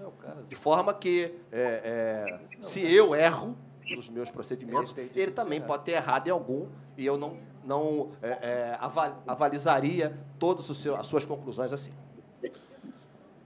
Bom, não. É, eu Senhor só queria. Eu também gostaria de eu gostaria de acompanhar o colega que acabou de falar. Me parece que seria uma temeridade fazer uma moção a favor de um procurador-geral de justiça que assumiu não submetendo a lista TIPS Não e que encontra divergência dentro do próprio Ministério Público Federal. Dentro do Ministério Público Federal, é público notório, está na mídia todo dia, a divergência em relação às posturas do atual procurador-geral. Me parece que é melhor mesmo aguardarmos a posição, como Vossa Excelência propôs, do, é, do que será decidido no colegiado maior do Ministério Público. Não seria o caso de mandar a menção agora. Aguardar a decisão do Conselho, É. do, do, é, será submetido doutor. ao Colégio de Procuradores e aí, após, ele tomar uma decisão. Eu peço a manifestação de, na É, hora. eu queria. é, Só o doutor Sávio. é, Doutor, só, por favor. Curtinho. É, acho que houve um mal entendido. Sim, é. né? O apoio não seria ao procurador-geral, mas As- as pelas prerrogativas do cargo. É, prerrogativas do Ministério claro, Público claro, Nacional. claro. Só isso. É, isso Mas eu acho que- acho já também- sabendo, já é. sabendo, como adiantou Vossa Excelência, que o assunto entrará na pauta do Conselho Nacional do Ministério Ministério Público, dos procuradores Gerais. gerais do Ministério Público, eu acho que aí seria o foro próprio. né? Sim. Então a moção seria então dirigida É, ao presidente do Conselho Nacional. É uma manifestação, como bem disse o doutor Marcelo Dotto, uma manifestação no sentido que o colegiado nacional do CNPG examine a questão para defender as nossas prerrogativas. A questão suscita todas essas ressalvas, porque como ela está envolta numa, numa contingência política, partidária e de luta pelo poder muito grande, às vezes uma manifestação isolada nossa Sim. pode parecer adesão ao este ou aquele modelo de governo, este ou aquele partido político, esta ou aquela escolha de, de, de, de, de, voto. E Exatamente. nós, e nós não estamos tratando disso aqui. A proposta do Exatamente. doutor Hugo ela é muito clara e, o- e e o senhor teve a oportunidade também de nos alertar para um, um encaminhamento muito mais saudável, porque passa por um foro que é o foro das lideranças verdadeiras de- das autonomias estaduais. Mas eu queria dizer o seguinte: processo sem Ministério Público, prisão sem Ministério Público, investigação de Ministério Público é uma afronta a qualquer membro do Ministério Público, independentemente de quem ele seja. Como ele tenha inaceitável. chegado, se ele chegou lá institucionalmente, legalmente ou É, não constitucionalmente. importa, não importa. Então, é, isso, é, isso não, não importa em escolha de candidatos, de claro. matiz político. É, é defender a sociedade do arbítrio de um judiciário que não tem limites sem o Ministério Público. Então, a ausência do Ministério Público como instituição em qualquer processo é algo escandaloso, internacionalmente escandaloso, afronta os direitos humanos das pessoas que estão sob investigação, quem quer que elas sejam, independentemente de quem elas apoiem. É isso que tem que ser dito. Nós não estamos fazendo nenhuma adesão política, mas nós temos apreço pela Constituição Federal e apreço por uma instituição que é essencial ao funcionamento da justiça, e onde isso não é respeitado, nós temos uma ilegalidade uma constitucionalidade flagrante. Eu acho que isso tem que ficar claro com o posicionamento do órgão. Excelência, me permite, eu, justamente eu gostaria de tratar do assunto que o doutor Sábio falou, que me parece que nós devemos evitar o personalismo. Não se trata daqui se as pessoas estão acertando ou não acertando. A questão é que o cargo precisa ser exercido em toda a sua plenitude. Inclusive, a, a, a previ, não, é, não há previsão nem legal para lista tríplice para a procuradora. Isso é uma questão de praxe. Então, e, e o fato de ter de, a forma como foi assumida ou não a Procuradoria-Geral da República não está em discussão. O que importa é que a instituição, ou quem chefia essa instituição, tem de ser respeitada todas as suas erre ou não, qualquer um pode errar. Ninguém precisa concordar com tudo que é feito, mas o que é importante é que a instituição possa ter voz e possa ter ação e fazer o que tem de fazer sem ser atropelada por outros poderes. Obrigado. Senhor presidente, desculpa. Eu depois queria falar também. É, eu quero divergir, porque, para mim, as instituições são formadas pelas pessoas. As nossas manifestações, ao final delas, sempre há o nosso nome e matrícula. Então, aquele que ocupa um cargo de tanta relevância importa sim, e importa muito. E só queria deixar, sem qualquer discussão, é, ressalvado o pedido, para ficar bem claro que eu também não quero fazer, mas é- isso poderá ser feito pelo órgão, não precisa ser por unanimidade, dessa manifestação, desse pedido ao Colégio Nacional de Procuradores Gerais, como se fosse, como começou a se delinear aqui, talvez, se é que eu entendi bem, quase que uma moção de repúdio às últimas atitudes do Supremo Tribunal Federal. Eu não subscreveria essa manifestação. Eu subscreveria. fique bem claro. É, mas é assim, o meu pedido foi exatamente uma- na, medida em que A gente faz também uma moção, a gente está emitindo um posicionamento que pode ser destoante do, do que for deliberado nacionalmente. Então, acaba sendo que, embora cada um tenha a sua convicção pessoal aqui, o que pondera aos senhores é que o Ministério Público do Rio de Janeiro, por esse órgão da administração superior, não se posicione publicamente antes que a gente faça isso de forma coordenada nacionalmente. Pode ser que uma manifestação dessa pode ser não seja tão boa estrategicamente. De repente, um Exatamente. caminho a, a ser adotado é um outro caminho que seja mais produtivo, mais eficaz na defesa das nossas prerrogativas. Então, por isso que eu fiz a ponderação, pegando a, a, a fala do doutor Hugo Gerck, que, eh, embora tenha uma discussão falando eh, da, da mais pontual em relação à PGR, Supremo, mas eh, o tema envolve toda a instituição, envolve a atribuição ordinária do Procurador-Geral de Justiça.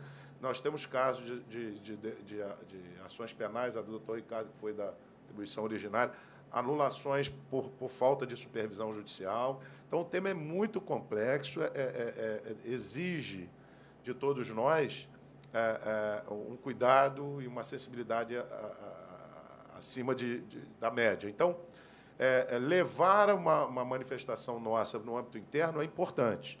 Agora, uma moção, uma manifestação pública já seria um passo que poderia ser é, corroborado com esse movimento nacional. Essa, essa é a ponderação que eu faço aos senhores.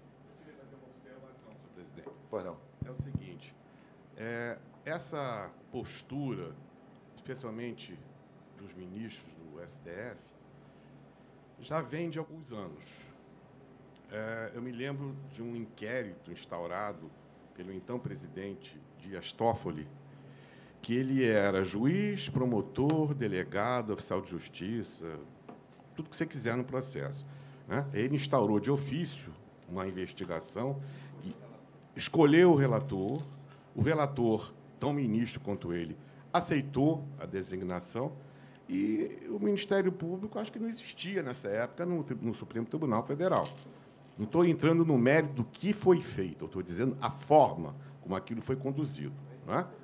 Depois, ali começou, exatamente. É, ou talvez aí tenha sido um teste numa situação, reconheço, é, delicada, numa situação constrangedora e numa situação que merecia alguma providência. Bom, disso, porque aconteceu recentemente, que a ministra, acabei de saber agora aí, se arvorou como supervisora do Procurador-Geral e do Ministério Público. Supervisionar é visionar acima. Não existe hierarquia entre Ministério Público, por mais que eles fiquem incomodados com isso, é problema deles, não é meu. né? Não tem nada a ver com isso, que eles fiquem ou deixem de ficar incomodados, mas não existe hierarquia entre advogado, promotor e juiz. Ele não pode supervisionar o que quer que seja, muito menos um procurador-geral da República e o Ministério Público. Então, eu concordo, senhor presidente.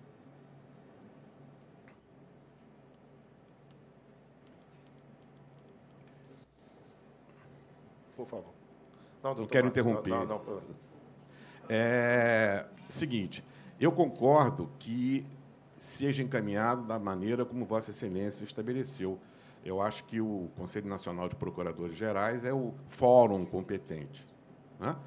É, agora, é, restrições à, à atuação do atual Procurador-Geral, eu tenho inúmeras, não seriam só uma nem duas, talvez mais de uma centena. né? Nunca vi Procurador-Geral mais apagado do que o atual. né? Talvez tenha tido um engavetador-geral da República na época, do, se não me engano, do Fernando Henrique, alguma coisa assim. Né? E antes dele teve um outro também, que era mais engavetador-geral da República do que esse que eu estou me referindo. Agora, a submissão, a postura subserviente do atual procurador-geral chama atenção. É espantosa. É como se ele fosse invisível. Ele não participa mais daquele plenário. Ninguém ouve mais o que ele tem a dizer. E isso é muito grave. Embora ele não me represente, eu não votei nele, não tem nada contra ele, não conheço ele, não sei quem é, só sei quem, quem ele é pelo, pela mídia. Mas o que eu tenho visto, que tem chegado ao meu conhecimento, é lastimável. né? Então, eu concordo que esse encaminhamento seja feito dessa maneira, mas eu concordo que é, nós não podemos também é, vamos dizer, botar isso para debaixo do tapete. Ele tinha meios e modos de, quando os fatos aconteceram, ter, no mínimo, registrado um protesto. E ele calou silêncio. Isso é, no mínimo, de coçar a cabeça. Bom, eu concordo com o encaminhamento de Vossa Excelência e gostaria que, na próxima sessão, nos trouxesse, por gentileza, o retorno do que foi decidido. Muito obrigado. Bom, o doutor Ricardo quer fazer uso. Não, é só para deixar claro que eu acho que a defesa das nossas prerrogativas não passa necessariamente pela defesa de pessoas, não passa necessariamente pela crítica a procedimentos, a processos. Doutor Márcio, até me desculpe aí a indelicadeza, mas nós estamos exatamente falando da questão da supervisão. Essa supervisão tem um monte de filigranas jurídicas que elas têm previsão em regimento interno do STJ, do STF, é, é, é, em suma, mas é, aí é uma série, se foi recepcionado, se não foi. Aí tem uma série de questões que são, mas eu acho que a defesa da nossa prerrogativa não passa pela crítica de processos específicos, pelo elogio ou crítica de pessoas e ministros e procuradores. Eu acho que a defesa das nossas prerrogativas elas podem ser feitas de modo abstrato e a gente sabe exatamente qual, quais são os pontos que merecem a defesa em prol da sociedade, eu acho que o CNPG hoje é o, o, o órgão com, com a eficiência e a transparência e a publicidade necessárias. Qualquer coisa diferente disso gera uma polêmica, eu não faço, eu faço, eu não vou, eu vou, e a gente não consegue o consenso. Eu acho que o consenso de todos está na defesa das nossas prerrogativas. Né? E aí vamos ter um, fazer a moção e deixar que o CNPG, o, o, o órgão dos procuradores gerais, a própria CONAMP e os próprios corregedores, que também se preocupam com isso, possam fazer isso de modo mais eficaz. Era só isso. E, desculpa, doutor Márcio, mas a questão era exatamente da supervisão que eu estava mencionando. Eu aprendi isso com o doutor Celso Fontinelli. Quando a mesa está falando, a gente para e espera terminar o diálogo. O... Bom, então, esse assunto estão todos de acordo no caminhamento né, da, da manifestação do colegiado dirigida ao Conselho Nacional de Procuradores Gerais para a defesa de nossas prerrogativas no sistema acusatório. Mais ou menos isso, em resumo. Bom, vou, vamos agora ao segundo, ao, ao, segundo assunto geral que a doutora Márcia Tamburini já trouxe aqui, que é a questão da discussão da unidade. Eu só fiz a interrupção, doutora Márcia, pelo seguinte. Nós apresentamos para debate, como a gente sempre tem feito aqui desde que cheguei, para a discussão da classe, é, uma minuta para que avancemos no, na, na, na, harmonização do princípio da independência funcional com. com então, não é só para. Porque do, jeito que a senhora falou, parecia que eu estou violando a independência, querendo violar a independência funcional, só para deixar claro. Então, a, a gente apresentou uma minuta. Não, não, sim, só, Então, então estamos todos de acordo. É, preocupação. Não, mas. Fique, fique, não, então, fique absolutamente tranquilo. O tema. Não, não. É, só, não, tudo bem, então, esclarecido. É só para dizer o seguinte: a, a, a, minuta ainda está em debate. O que, que nós estamos fazendo? Foram muitas sugestões, nós estamos sistematizando as sugestões para apresentar a classe e, de repente, já trazendo uma nova uma nova minuta diante desse, desse, desse, dessas sugestões apresentadas. Mas estão sendo sistematizadas. Me, me apresentaram na, na semana passada um resumo e a gente está definindo, mas foi muito profícuo o debate, é, é, é, a discussão foi absolutamente saudável. eu tenho viajado e tenho encontrado os colegas o princípio da unidade, que é uma reclamação antiga. Os colegas estão solicitando que a gente tenha, de fato, algum alguma um instrumento de, de construção dessa unidade. Então, agora, a questão da diretriz eu coloquei porque está na lei, é um instrumento diferente. Eu, eu até lembrava que, por estar na lei, hoje a corregedoria já a, a cobra o cumprimento das diretrizes, isso é, é objeto do, do, relatório da corregedoria. O que a gente pretendia fazer era, era um debate sobre isso, e a, uma, mas como isso envolve planejamento estratégico, é, várias é, é, leis, resoluções do CNMP. Eu não sei se a gente vai prosseguir discutindo a diretriz ou somente a unidade. E para que a gente avance com, com aquilo que tem mais consenso, e, e, mas em razão desse, desse resumo que vai permitir que a, no- que a- a minha decisão, juntamente com a sua PPI, para apresentar, um- um- uma, além da, do resumo do que foi é, é, apresentado, de sugestões, alguns esclarecimentos de uma nova versão, já acolhendo muitas das sugestões. Foram, foram sugestões ótimas. é, é, é, essa foi a ideia. Ao final, ao final. É, o, o- o- na, é, na verdade, esse debate está aberto. Eu acho que o colegiado tem que Senhor participar. presidente, eu, eu até eu queria É. até é, é, reforçar essa, essa indagação, que era o que eu ia fazer a Vossa Excelência.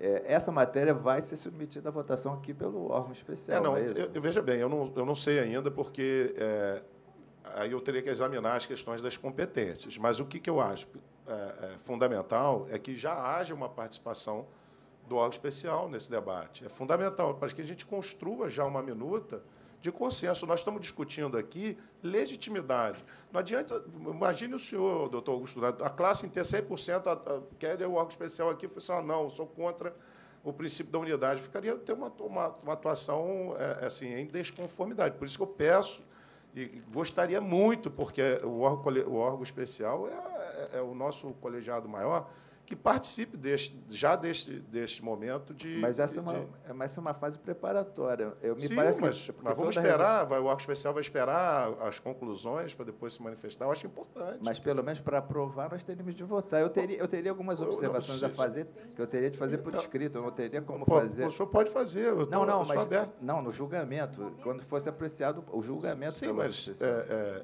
é, bom, é exatamente a questão passa pela, pelo aspecto da legalidade. A gente tem que saber se se é, é, é, é, é, Eu é entendo. devida.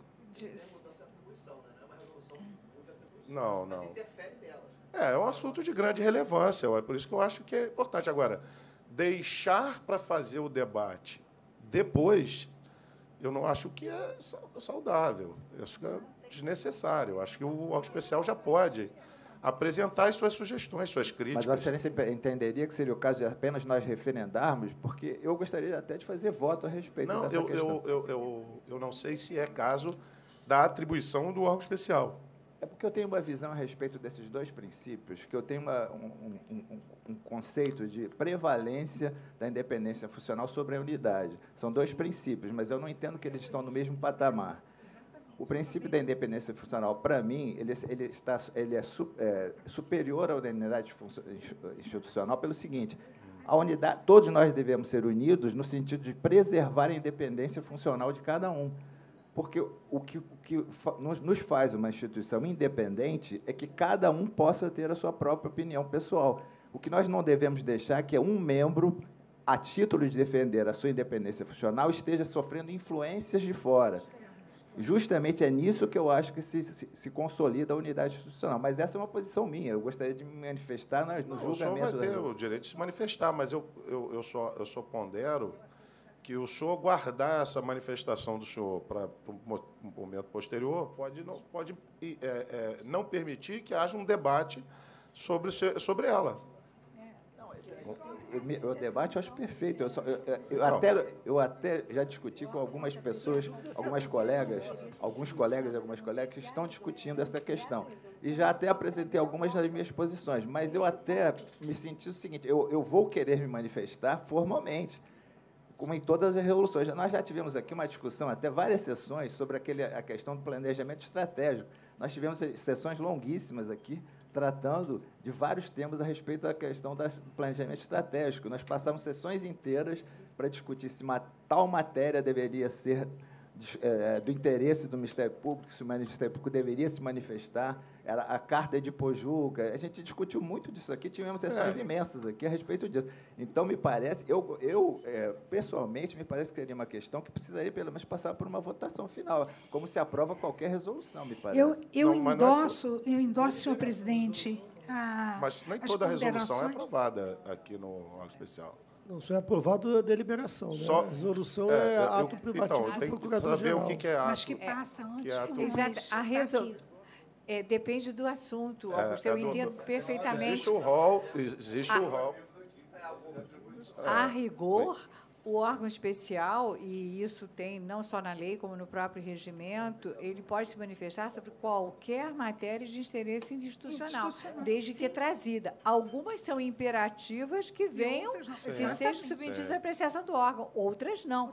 Então, eu acho que é isso que, que tem Sim. que ser examinado na oportunidade. Né? E só a a título de- deliberação, não tenho dúvida. Agora, a resolução, Não. nem todas passam pelo órgão É. especial. Só a título de contribuição, doutor Augusto, se Vossa Excelência me permite, eu, eu endosso a sua concepção, o seu entendimento de que são duas coisas distintas, embora ambos previstos constitucionalmente. A distinção entre a independência e o princípio da, da unidade é que a unidade tem um viés, um caráter, uma natureza administrativa que a independência não tem. A independência tem relação direta com a atividade fim. E eu acho que essa distinção é fundamental para que possamos fazer uma discussão, para iniciar um debate. Nós temos que partir de premissas sólidas. E eu acho que essa distinção, até para concordar e discordar do meu posicionamento colocado agora, eu acho que até isso precisamos também debater. Né? Porque eu, eu não tenho a pretensão de ser uma unanimidade nisso. Mas, a mim, parece clara a distinção entre a, a natureza administrativa do princípio da unidade e a, e a natureza finalística do princípio da independência. Obrigada, Senhor excelência. presidente, só para complementar, é, embora a resolução possa não ser votada, o colégio pleno, uma das atribuições dele é, é discutir o pleno, não é nem o órgão especial. O pleno teria de discutir a respeito quando afeta diretamente a instituição, com princípios institucionais. Então, há uma previsão na nossa lei que prevê que o pleno teria de se reunir quando afeta muito diretamente a questão institucional.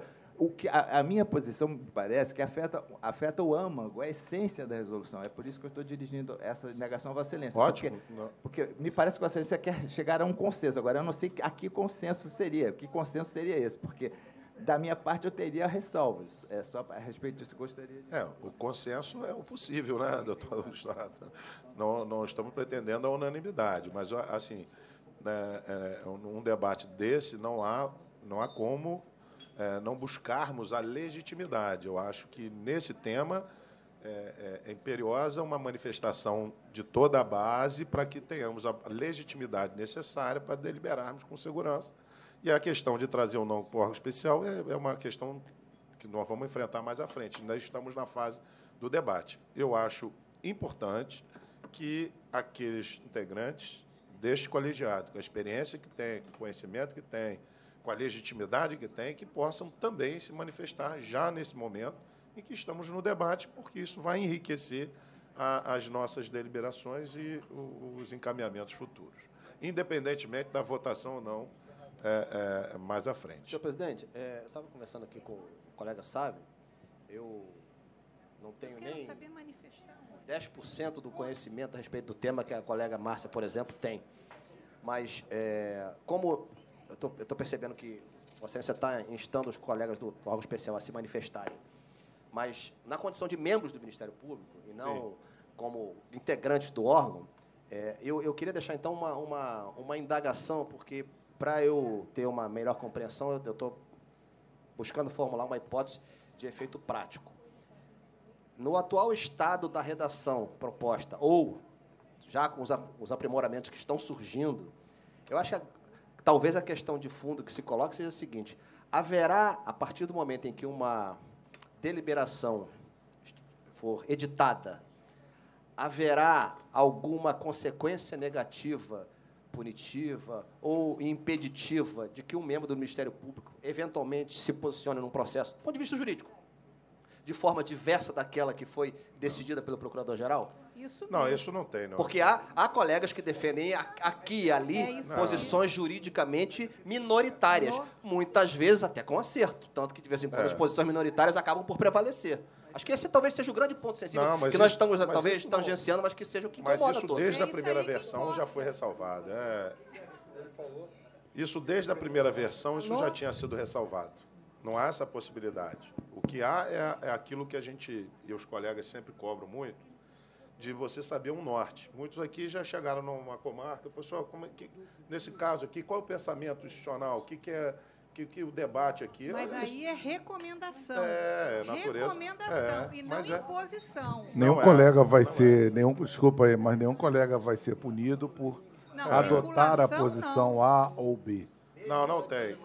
Não tem. Hum, O, o, o que pode acontecer é, é uma omissão, e aí sim é grave, que não leve em consideração aspectos é, é, estabelecidos até pela própria, pela própria classe como um objetivo da instituição, em, em caso de resolutividade e tudo mais. A gente sempre dá o, dá o exemplo do, da evasão escolar.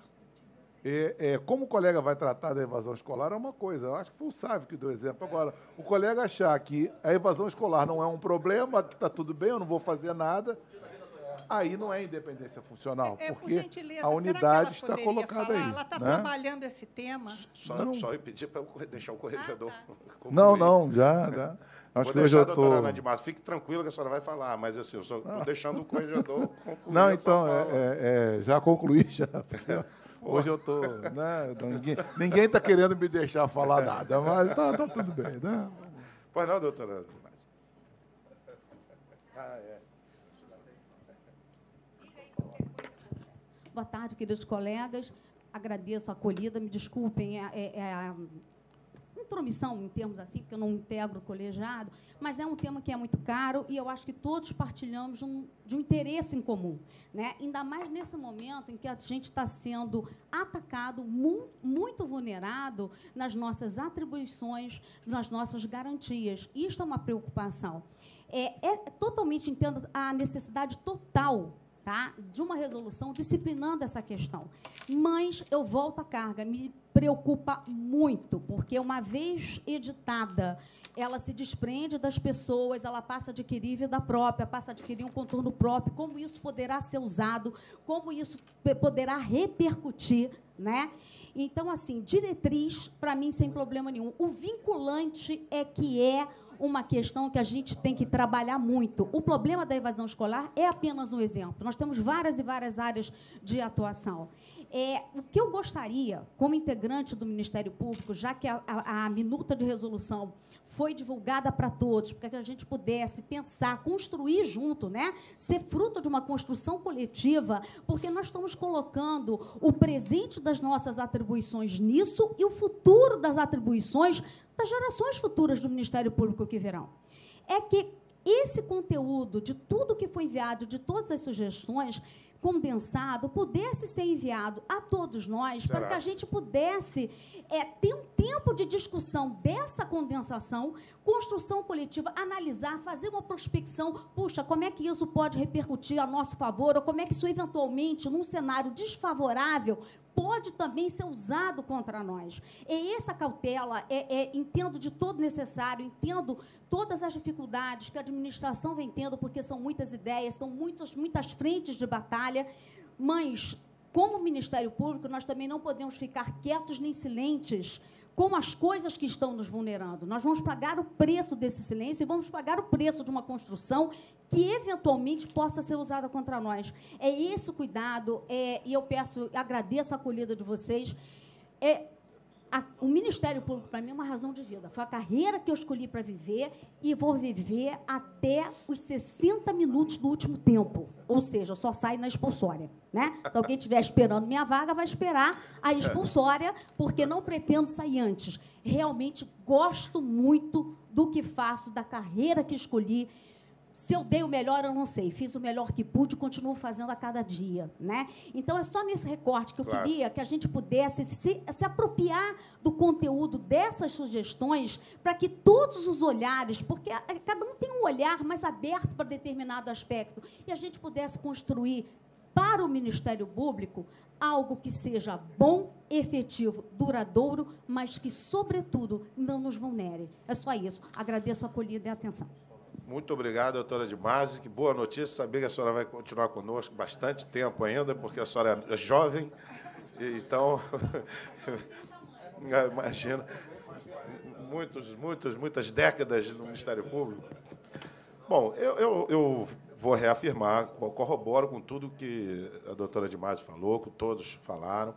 É, é, nós estamos em debate para a construção coletiva de uma regulamentação de um princípio da unidade, com as divergências que possam ocorrer conceitualmente, com aqueles que acham que não deva ocorrer, mas o fato é que isso foi debatido e aí a, a, o processo eleitoral tem essa qualidade, doutor Márcio, que o senhor lembra, porque esse assunto foi apresentado, foi, foi, eu tenho percebido que há uma demanda em relação a esse, esse assunto, a, a, interna muitos colegas reclamam a necessidade de saber.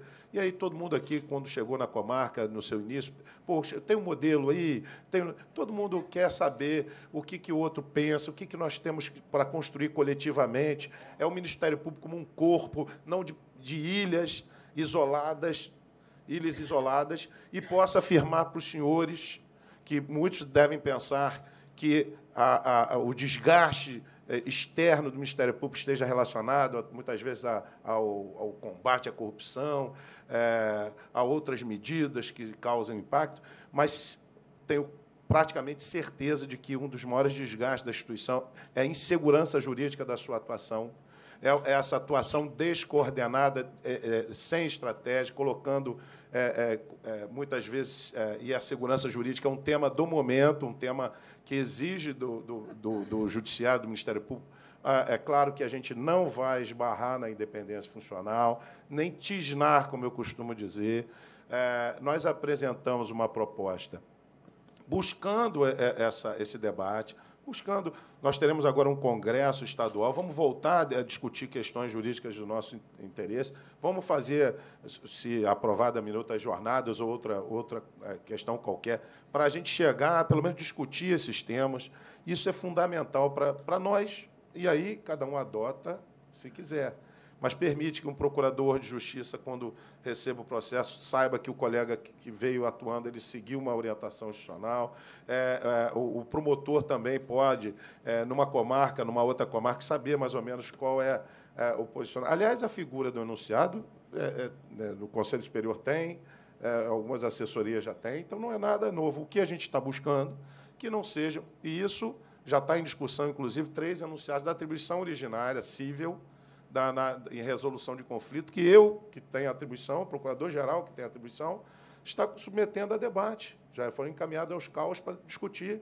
São posicionamentos que já vêm ah, sendo adotados na, na, na, na assessoria. E para não ser uma coisa assim do procurador-geral de então, ou do assessor de ocasião, que conhece melhor o tema, decidiu aquele ponto estratégico, a gente faça um debate aprofundado e eu possa decidir. É claro que tem, em alguns casos, por isso até que na minuta tem uma centralização em, em alguma parte do procurador-geral, porque envolve, por exemplo, se, se a, a, a, proposta de enunciado que afete substancialmente atribuições de um grupo de promotorias, eu vou ter que ter estrutura, vou ter que ter uma série de outras coisas, é, é, não posso aprovar da noite para o dia sem um, uma adequada uh, uh, uh, suporte institucional, um suporte administrativo. Então, é só isso. Mas a, o que se busca mesmo é isso, a maior legitimidade, doutor Augusto. Por isso que é importantíssimo ouvi-los, mas assim, é que a gente quer que a, a toda a instituição venha e participe desse debate. A diretriz institucional foi lançada porque está na lei. Está na lei, foi um artigo incluído na lei complementar é, é, 106, e nós repetimos e trazendo a discussão. Foi bom porque deu luz a, a esse tema. Por exemplo, nós estamos deliberando. É, então, sem a resolução, o artigo está lá, o artigo está presente. Na resolução, por exemplo, nós estamos em debate agora, é, o, o, Comitê de Gestão Estratégica, que são os subs e o Procurador-Geral, discutindo o plano diretor de segurança pública e, diferentemente até do que vinha sendo. Já estamos indo para a quarta reunião, com mais de não sei quantas horas cada uma delas, porque estamos cuidadosamente olhando item por item a sua clareza, a sua não interferência na independência funcional, para não ter qualquer risco, qualquer arranhão a essa independência funcional.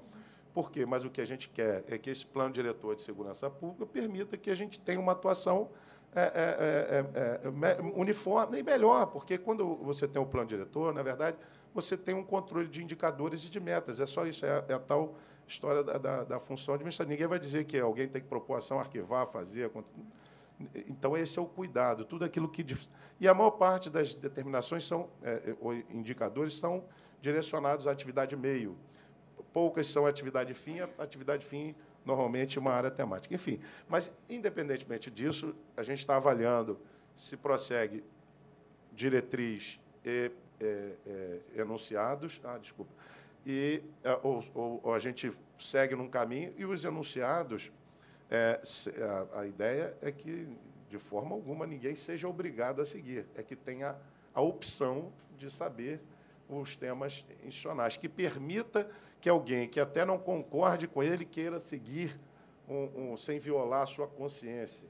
É, é, permita que alguém possa adotar. Alguém escreveu, doutor Leone, que tem vários livros, ele poderá, para sem se violar, pode seguir. Olha, eu estou seguindo uma orientação. Não tô, ah, mas o senhor escreveu diferente no livro. Mas, na verdade, eu estou seguindo aqui uma orientação institucional. Então, enfim, é uma possibilidade, é, uma, uma é um enunciado construído com a, com a, com a maior legitimidade possível. É, mas, olha, o debate é amplo. Se, a, se houver um consenso ao contrário, que não, não temos que regulamentar nada, está ótimo também. É isso que a gente quer. Senhor presidente, Vossa Excelência me citou pessoal, mas eu só queria é, fazer um esclarecimento, mais um esclarecimento. Eu já, já tinha avisado que eu sou chato, né? Mas é que o. É... Ó, quem vai brigar comigo é a doutora Carla, que ela não, quer falar há só... muito tempo. eu, eu, eu, só queria é, esclarecer o seguinte: o, o, ponto que mais me pega nesse problema dessa redução é a palavra vinculante. Sim. Essa vinculação ela tem efeitos, de alguma forma vai produzir efeitos. E os efeitos que a vinculação pode produzir sobre o princípio da independência funcional é o que me preocupa, porque ela afeta a essência. Eu, ne, eu nem sei se uma resolução teria aptidão para afetar um princípio institucional. Não, mas, mas, veja é bem. É por causa da palavra vinculação mas, olha só, eu, eu, eu adiro a sua manifestação, mas só queria fazer um reparo. Essa palavra não está na resolução. Muito menos, é, é está na lei. É isso, esse é o problema. A gente tem que. Não, a resolução é, nessa parte repetiu, quando, enquanto proposta.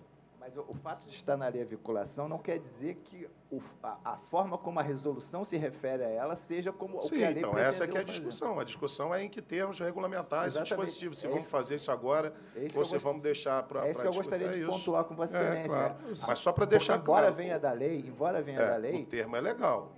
Sim, mas o, o fato de vir da lei não significa que a resolução possa dispor sobre a vinculação afetando o que deveria ser feito por norma. O princípio da independência funcional só pode ter, ser atingido por norma legal. Ele não pode não, ser atingido. É, é, bom, a, a, eu entendi o que o senhor quer dizer. É, quer dizer que a gente tem que regulamentar. Mas esse, esse, essa regulamentação era até muito tímida na, na proposta, mas foi bom lançar luz ao, ao tema. Acho que as pessoas hoje perguntam o que é diretriz. Ninguém tinha observado lá o dispositivo legal. Então, a gente, ó, existe, existe aqui no Ministério Público um setor, setor, a Secretaria Geral de Planejamento Institucional, que é uma equipe grande aqui trabalhando nisso. Existe o mapa estratégico, existem várias é, é, resoluções do Conselho, tem na nossa legislação, e tem toda uma estrutura é, desenhada para a construção desses indicadores. Então, é importante que todos saibam disso também, que é importante que exista, o que então, mas se a gente, como a gente vai fazer esse debate, a gente vai estar avaliando a partir das sugestões que foram apresentadas. Mas o, é, é, deixando claro que, doutor Marcelo, eu vou passar é, para ela, porque ela já está... Ah, desculpa. Sabia, desculpa. É, é, deixando claro que é, a, a, a, vinculação está prevista lá na lei, na diretriz, e no, no enunciado não há nenhuma, nenhuma vinculação. Se a, a violação da independência funcional nos é, torna vulnerável, eu acho que é a falta de unidade também. Então, eu acho que é algo que eu quero trazer para vocês a reflexão. E pela minuta, eu tive a oportunidade de estudar detalhadamente, não é um, um posicionamento arbitrário que vem da administração superior, seja ela qual for, e fala, faça isso ou faça aquilo se eu estiver errada, peço que o procurador me corrija, era algo que seria colocado e os colegas iriam votar. Que colegas? Aqueles que se interessem a votar. Porque aquele colega, isso que eu quero trazer a reflexão de vocês, aquele colega que está num determinado local, ele não se atualiza, ele não quer saber de nada, ele não participa de votação nenhuma, ele não se interessa pelos assuntos institucionais, que não é o caso de ninguém aqui, mas ele quer fazer no processo que ele quer fazer. E aí a gente vai falar de evasão escolar, a gente pode falar de tutela coletiva, a gente pode falar de crime, a gente pode falar de tipicidade, NPP. Não, eu não me interesso, eu não estudo, eu não participo e eu faço o que eu quero fazer. E isso também eu acho que nos torna demasiadamente vulnerável. Então a questão aqui eu acho que é uma ponderação. Ninguém está falando que vai obrigar, pelo que eu entendi, nenhum colega a fazer isso ou aquilo. Mas trazer a conversa a, ao conjunto. O que eu vejo agora é que cada um faz o que quer não acho que também seja o ideal para o nosso fortalecimento enquanto instituição. Então, é só essa reflexão. Senhor presidente, eu queria só reforçar aqui o seguinte: eu já fiz as minhas sugestões. Sim, ótimo. Quando foram abertas, inclusive, a questão de câmaras temáticas para discutir esses temas, porque eu não quero ter que discutir crime, por exemplo. Eu não, não tenho hoje competência, expertise para discutir é. os detalhes aí da supervisão do judiciário sobre o MP. Está sendo discutido hoje desses detalhes. Eu sugeri, por exemplo, que umas temáticas que a pessoa poderia se inscrever, o colega se inscreveria para participar dos debates, por exemplo. Então, eu fiz as minhas sugestões. A minha preocupação hoje só é que, de fato, a gente precisa enfrentar a questão da unidade. Isso aí, isso aí a gente tem que enfrentar. A gente está no segundo grau, especial no cível. A gente tem visto lá os desembargadores brincam, desembargadores que são amigos brincam. Cá, vocês não se entendem, não? Um fala num processo, o outro não fala. Eu, outro dia nós tivemos um debate com alguns promotores, eu disse para eles, ó, oh, tem, tem um juiz aí que não está nem mais mandando processo para o promotor. Ah, mas é um absurdo. É um absurdo, mas o promotor não fala, já disse para o juiz que não fala, o juiz nem manda o processo, mais para o juiz. Ah, mas tinha que mandar. Então, então nós precisamos nos entender. Quais são os, quais são os temas que a gente fala, quais são os temas que a gente não fala, quais são as diretrizes administrativas da instituição para enfrentar determinados problemas graves que o Estado passa, é a corrupção, é a evasão escolar. Então, a gente, claro que a gente tem que ter unidade, isso aí é evidente. Agora, sem dúvida, a unidade não pode atingir a independência do promotor no processo, mas o promotor não pode ter independência também de não, de, exatamente de não fazer se a instituição diz que hoje nós temos um foco, que é o combate a determinado fato, nós temos que ter uma unidade de combater esse fato. Isso aí. É, e claro que a, e o procurador-geral, a instituição, tem que dar os meios para que a gente atinja os fins, é evidente. Mas que hoje, me parece, é inadiável a discussão da unidade, é inadiável. Porque eu estou como um grande amigo que eu tenho, que foi para o crime, porque eu não estava mais aguentando essa discussão do civil. Eu também tenho vontade para o crime, porque pelo menos no crime eu falo em tudo. Eu não fico nesse vai e vem, recebo processo que eu não falo, falo. Pra... Então fica muito confuso. Eu queria, assim, é, dar os parabéns à, à, à administração, que teve a coragem de iniciar esse debate. É um debate penoso. O doutor Augusto levantou questões aqui que são relevantíssimas acho que o, o, o Colégio de Procuradores pode até se reunir, é, ser convocado para debater o que já está sendo debatido aí. A gente se reúne aqui um dia lá no, no andar e tra, traça algumas discussões, não tem problema nenhum. O, o que eu, o que eu tenho dúvida é se, essa, se, se isso é pré-requisito para o, o, ato. Mas, enfim. Doutor Marcelo, é só para. É, sobre, esse ponto, sobre esse ponto, justamente nesse ponto de intervir ou não intervir, é que nós tivemos o pleno. Aquelas sessões a que eu falei, que nós discutimos se o Ministério Público deveria intervir ou não intervir, acabaram indo para o Pleno. Foi uma, uma, uma, reunião praticamente plebiscitária, se nós deveríamos manifestar em certos assuntos ou não. A respeito de falar ou não, eu tenho uma posição. Eu acho que o, juiz, o, o judiciário deveria mandar todos para nós. Eu, quando é. falo que não, eu não falo. Isso é o mundo eu, ideal. Eu né? não faço referência a nenhuma deliberação. Eu digo se eu quero me manifestar ou não. Então não, não precisaria. Sim, isso é o mundo ideal, mas é o que o juiz diz assim, mas vocês não estão falando em nada, então nem mando mais. Sim, então, esse é um problema que a gente precisa enfrentar, porque se a gente não tem uma, uma delimitação sobre o que, que a gente fala, quais são as nossas estratégias, é, quais, são, quais são os objetivos da instituição, está é, tá todo mundo olhando para o Ministério Público perguntando assim, mas vem cá, para onde que vocês vão? E a gente precisa dizer para onde que a gente vai. Eu, tenho, eu, eu, eu sempre lembro da questão da súmula vinculante, doutor Marcelo. eu não me parece que a súmula vinculante tenha sido boa para a magistratura. Eu não acho que todo juiz fique muito tranquilo de seguir a, a súmula vinculante. Eu não sei se Vossa Excelência já viu como é que é feita a redação pelo Supremo de uma súmula vinculante. É uma coisa que dá vergonha alheia. Quando o Supremo discute, vamos aqui botar no papel como vai ficar a minha súmula vinculante, eu já assisti pela televisão isso. É uma coisa triste, parece que eles não entendem nada do assunto. É, é, esse é que é o medo da vinculação. Eu, eu tenho um receio concordo com a súmula vinculante porque ela dá uma segurança jurídica, uma previsibilidade. A função do direito é gerar previsibilidade. Se você usa o direito sem gerar previsibilidade, você não tem direito, você tem uma disfunção do sistema. O sistema existe para que você hoje pratique um ato e saiba quais são as consequências jurídicas desse ato para o futuro. Se você pratica um ato um, e um juiz decide de um jeito, o outro decide de outro, você tem o mesmo sujeito, com as mesmas condições, cada qual tendo uma condição, uma, um resultado jurídico distinto. Isso é uma disfunção do sistema. Quer dizer, eu acho que a súmula vinculante Marcelo, veio para superar isso, Marcelo. mas isso é outra discussão. Estou aqui inventando outra discussão. Eu só queria reafirmar aqui que esse é o momento que a gente precisa discutir a unidade, não tem a menor dúvida.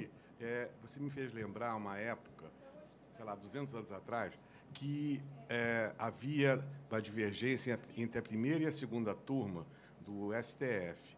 Uma turma dizia que cabe renovação dos contra... renovação compulsória do contrato de locação é, nos contratos que não estejam ao amparo do 2450 na época, que era a lei que regulava a locação comercial. E a segunda turma dizia exatamente o contrário. Então, se você era João da Silva e tinha a sorte de ir para a primeira turma, você tinha o julgamento A. Se você ia para a segunda turma, tinha o julgamento B. O mesmo caso, a mesma, exatamente a mesma situação. Eu concordo que a questão da insegurança jurídica, depois veio a súmula dizendo que cabe renovação, parará, parará. Mas antes dessa súmula, era um absurdo. Eu, eu era do 402, você era do 401. O seu ia para a primeira turma, você não tinha renovação compulsória. O meu tinha. Isso é literalmente um absurdo. É só uma observação.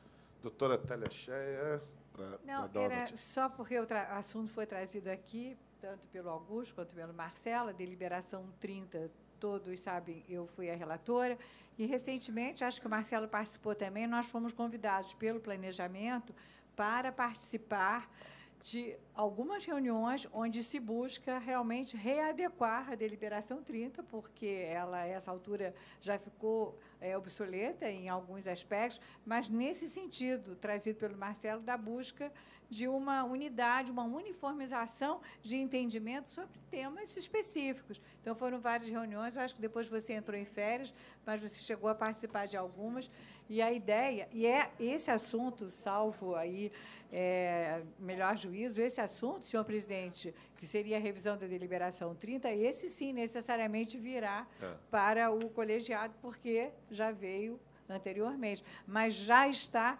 já que se falou aqui, isso, isso está em. Unidade, né? Dentro dessa ideia de unidade, isso já está em andamento. E sim, sim, foi, Eu participei com muito prazer, já atualmente não, não integro mais, mas à época fui a relatora, Augusto trabalhou inclusive comigo, por isso que ele era só nesse sentido de que também já existe essa outra proposta em andamento. É ine... Obrigado, doutora Teste. É, é, inexorável, como acho que o Marcelo, a gente discutir isso. E, e, e essa lutar. Acho que a instituição ganha, nós temos que fazer esses aprimoramentos, avançar, discutir e lutar para que a melhoria, para que nossa instituição não fique estática no tempo e se adeque às necessidades atuais. É, como disse, então, em fechamento, o debate está aberto. Em breve receberão um, um relatório aí com um resumo das discussões, das sugestões e aquilo que a gente está achou interessante e, e acolheu é, das sugestões. Ok? Algum outro assunto geral a tratar? Eu queria, queria voltar assim para o dia a dia. Eu queria saber se, como é que está o negócio do, da, do PGE, assim, porque a gente não, não integra, não está conseguindo acessar. PJE. PJE, desculpa. PJE. Se, como é que está o encaminhamento disso? Se já está adiantado? Nós estive, está estive, estive é, é, dificuldade maior do PJE que exige é, toda a alteração do Integra. Então, nós estamos desenvolvendo todas as alterações necessárias para fazer a integração com o novo PJE, quer dizer, novo para nós. Ele já existe em alguns estados. A diferença é que o Tribunal de Justiça do Rio é, aderiu a, uma, a um comando do CNJ para que o PJE seja um, um programa em todo o Brasil. Então, quem migrar o seu sistema hoje tem que migrar para o PJE. Só que as questões principais ficam hospedadas é, em Brasília, no CNJ. Alguns estados, como Minas e Distrito Federal, já usam o PJE, mas a administração é local. Isso permitiu que cada um fizesse as adaptações locais necessárias. E, em razão disso, existem algumas dificuldades operacionais, principalmente, por exemplo, da, da intimação do órgão. É, há uma dificuldade do, do tribunal é, no PJE de direcionar a, a, a intimação para promotoria ou procuradoria específica. É, isso, isso, quando o órgão jurisdicional é ligado à, à, à promotoria ou à procuradoria, é mais fácil, porque a gente pode ir lá, eu venho aqui lutar pelas nossas prerrogativas, a intimação, embora já exista alguma, algumas decisões do Supremo dizendo que, mesmo que chegue no local errado, mas nós enfrentamos isso na central já há algum tempo, entrou no prédio, tá, já está valendo a intimação, então por isso teve uma resolução nossa aqui é, determinando a comunicação. Ó, não sou eu, é, a atribuição é de outro, mas a gente comunica o outro para evitar uma perda de prazo. Então tem todo essa, esse problema, mas te, nós temos algumas promotorias que realmente fica difícil até de, de exigir do judiciário. É, é algumas promotorias, por exemplo, saúde, que a, a, não, é, a definição da atribuição é regulação, é, é internação e aí, é, aí há uma, uma resistência enorme. Então, o grande problema está na distribuição, quer dizer, a primeira vinda do processo. É, quando isso é alimentado pelo cartório, isso já facilita, mas a gente já desenvolveu alguns algoritmos que fazem a leitura e, e, e encaminham pro, pro, pelo número do processo, pela vara e tal. Mas o, o Integra tá, vai conseguir, pelo Integra, Integra, a gente acessar o PJE, porque, por exemplo, eu tenho lá um agravo, eu quero acessar o projeto o processo principal, quando é PJE, eu não consigo acessar. Eu tenho que entrar no sistema do PJE, e toda aquela sistema. Aí, às é. vezes, às vezes é de família, aí. Está tá misturado. É, aí não, não consigo é. abrir, é uma confusão. Não, então, é, o, o, esse é um complicador, porque as, as intimações são todas juntas. Aí vários colegas manuseando uma mesma caixa de entrada. A ideia é que o PJE não seja disponibilizado, porque o colega trabalhe somente no, no, no Integra. Só que ainda está em fase de adaptação, muitas vezes você tem que recorrer ao PJE, mas o ideal é que trabalhe no próprio Integra.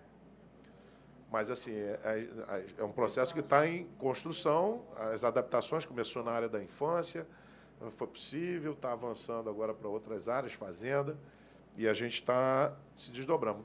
Nós fizemos um movimento, que, que na linha do que a gente conversou, inclusive, sobre o outro assunto aqui, de buscar junto ao CNMP um paralelo com o CNJ, para que ele nos ajude, é, considerando que não vai ser um problema do Rio de Janeiro, será um problema de todos os, os ministérios públicos, de todos os ramos que vierem a, a, se deparar com o PJE, que haja uma construção coletiva é, de forma que ganhe mais peso as nossas solicitações. Então, o CNMP, o conselheiro Moacir, que é dessa área de TI de planejamento, já está em contato direto. Nós fizemos essa ponte numa última reunião com o CNJ, o secretário-geral que saiu com o secretário-geral que, que, assume a, a, hoje as novas funções, para que a gente possa aparar as arestas. De, de qualquer forma, já estamos vendo a, a, figura de um distribuidor para que o membro não fique com essa, nem as suas assessorias.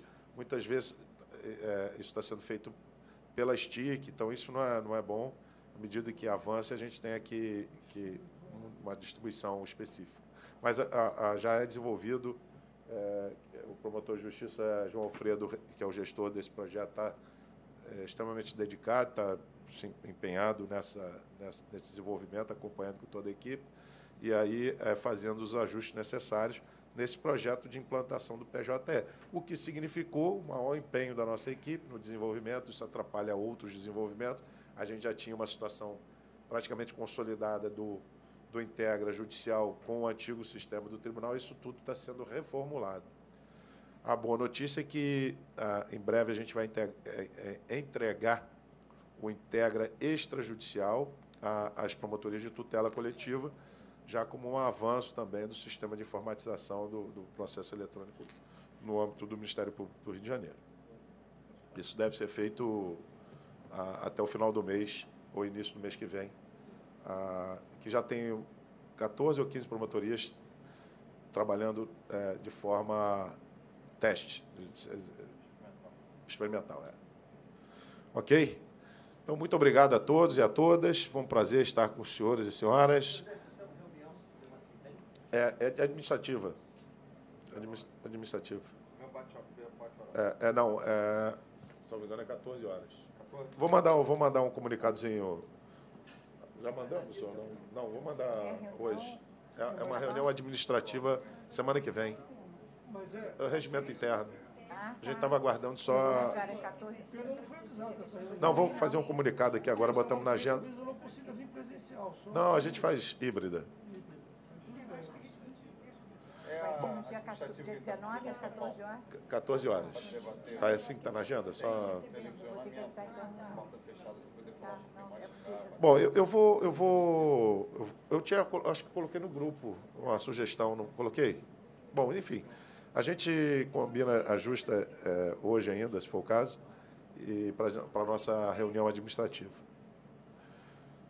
Bom, então vamos encerrar a sessão. Agradeço mais uma vez a participação de todos e todas. Muito obrigado a todos também que nos assistiram. Boa tarde.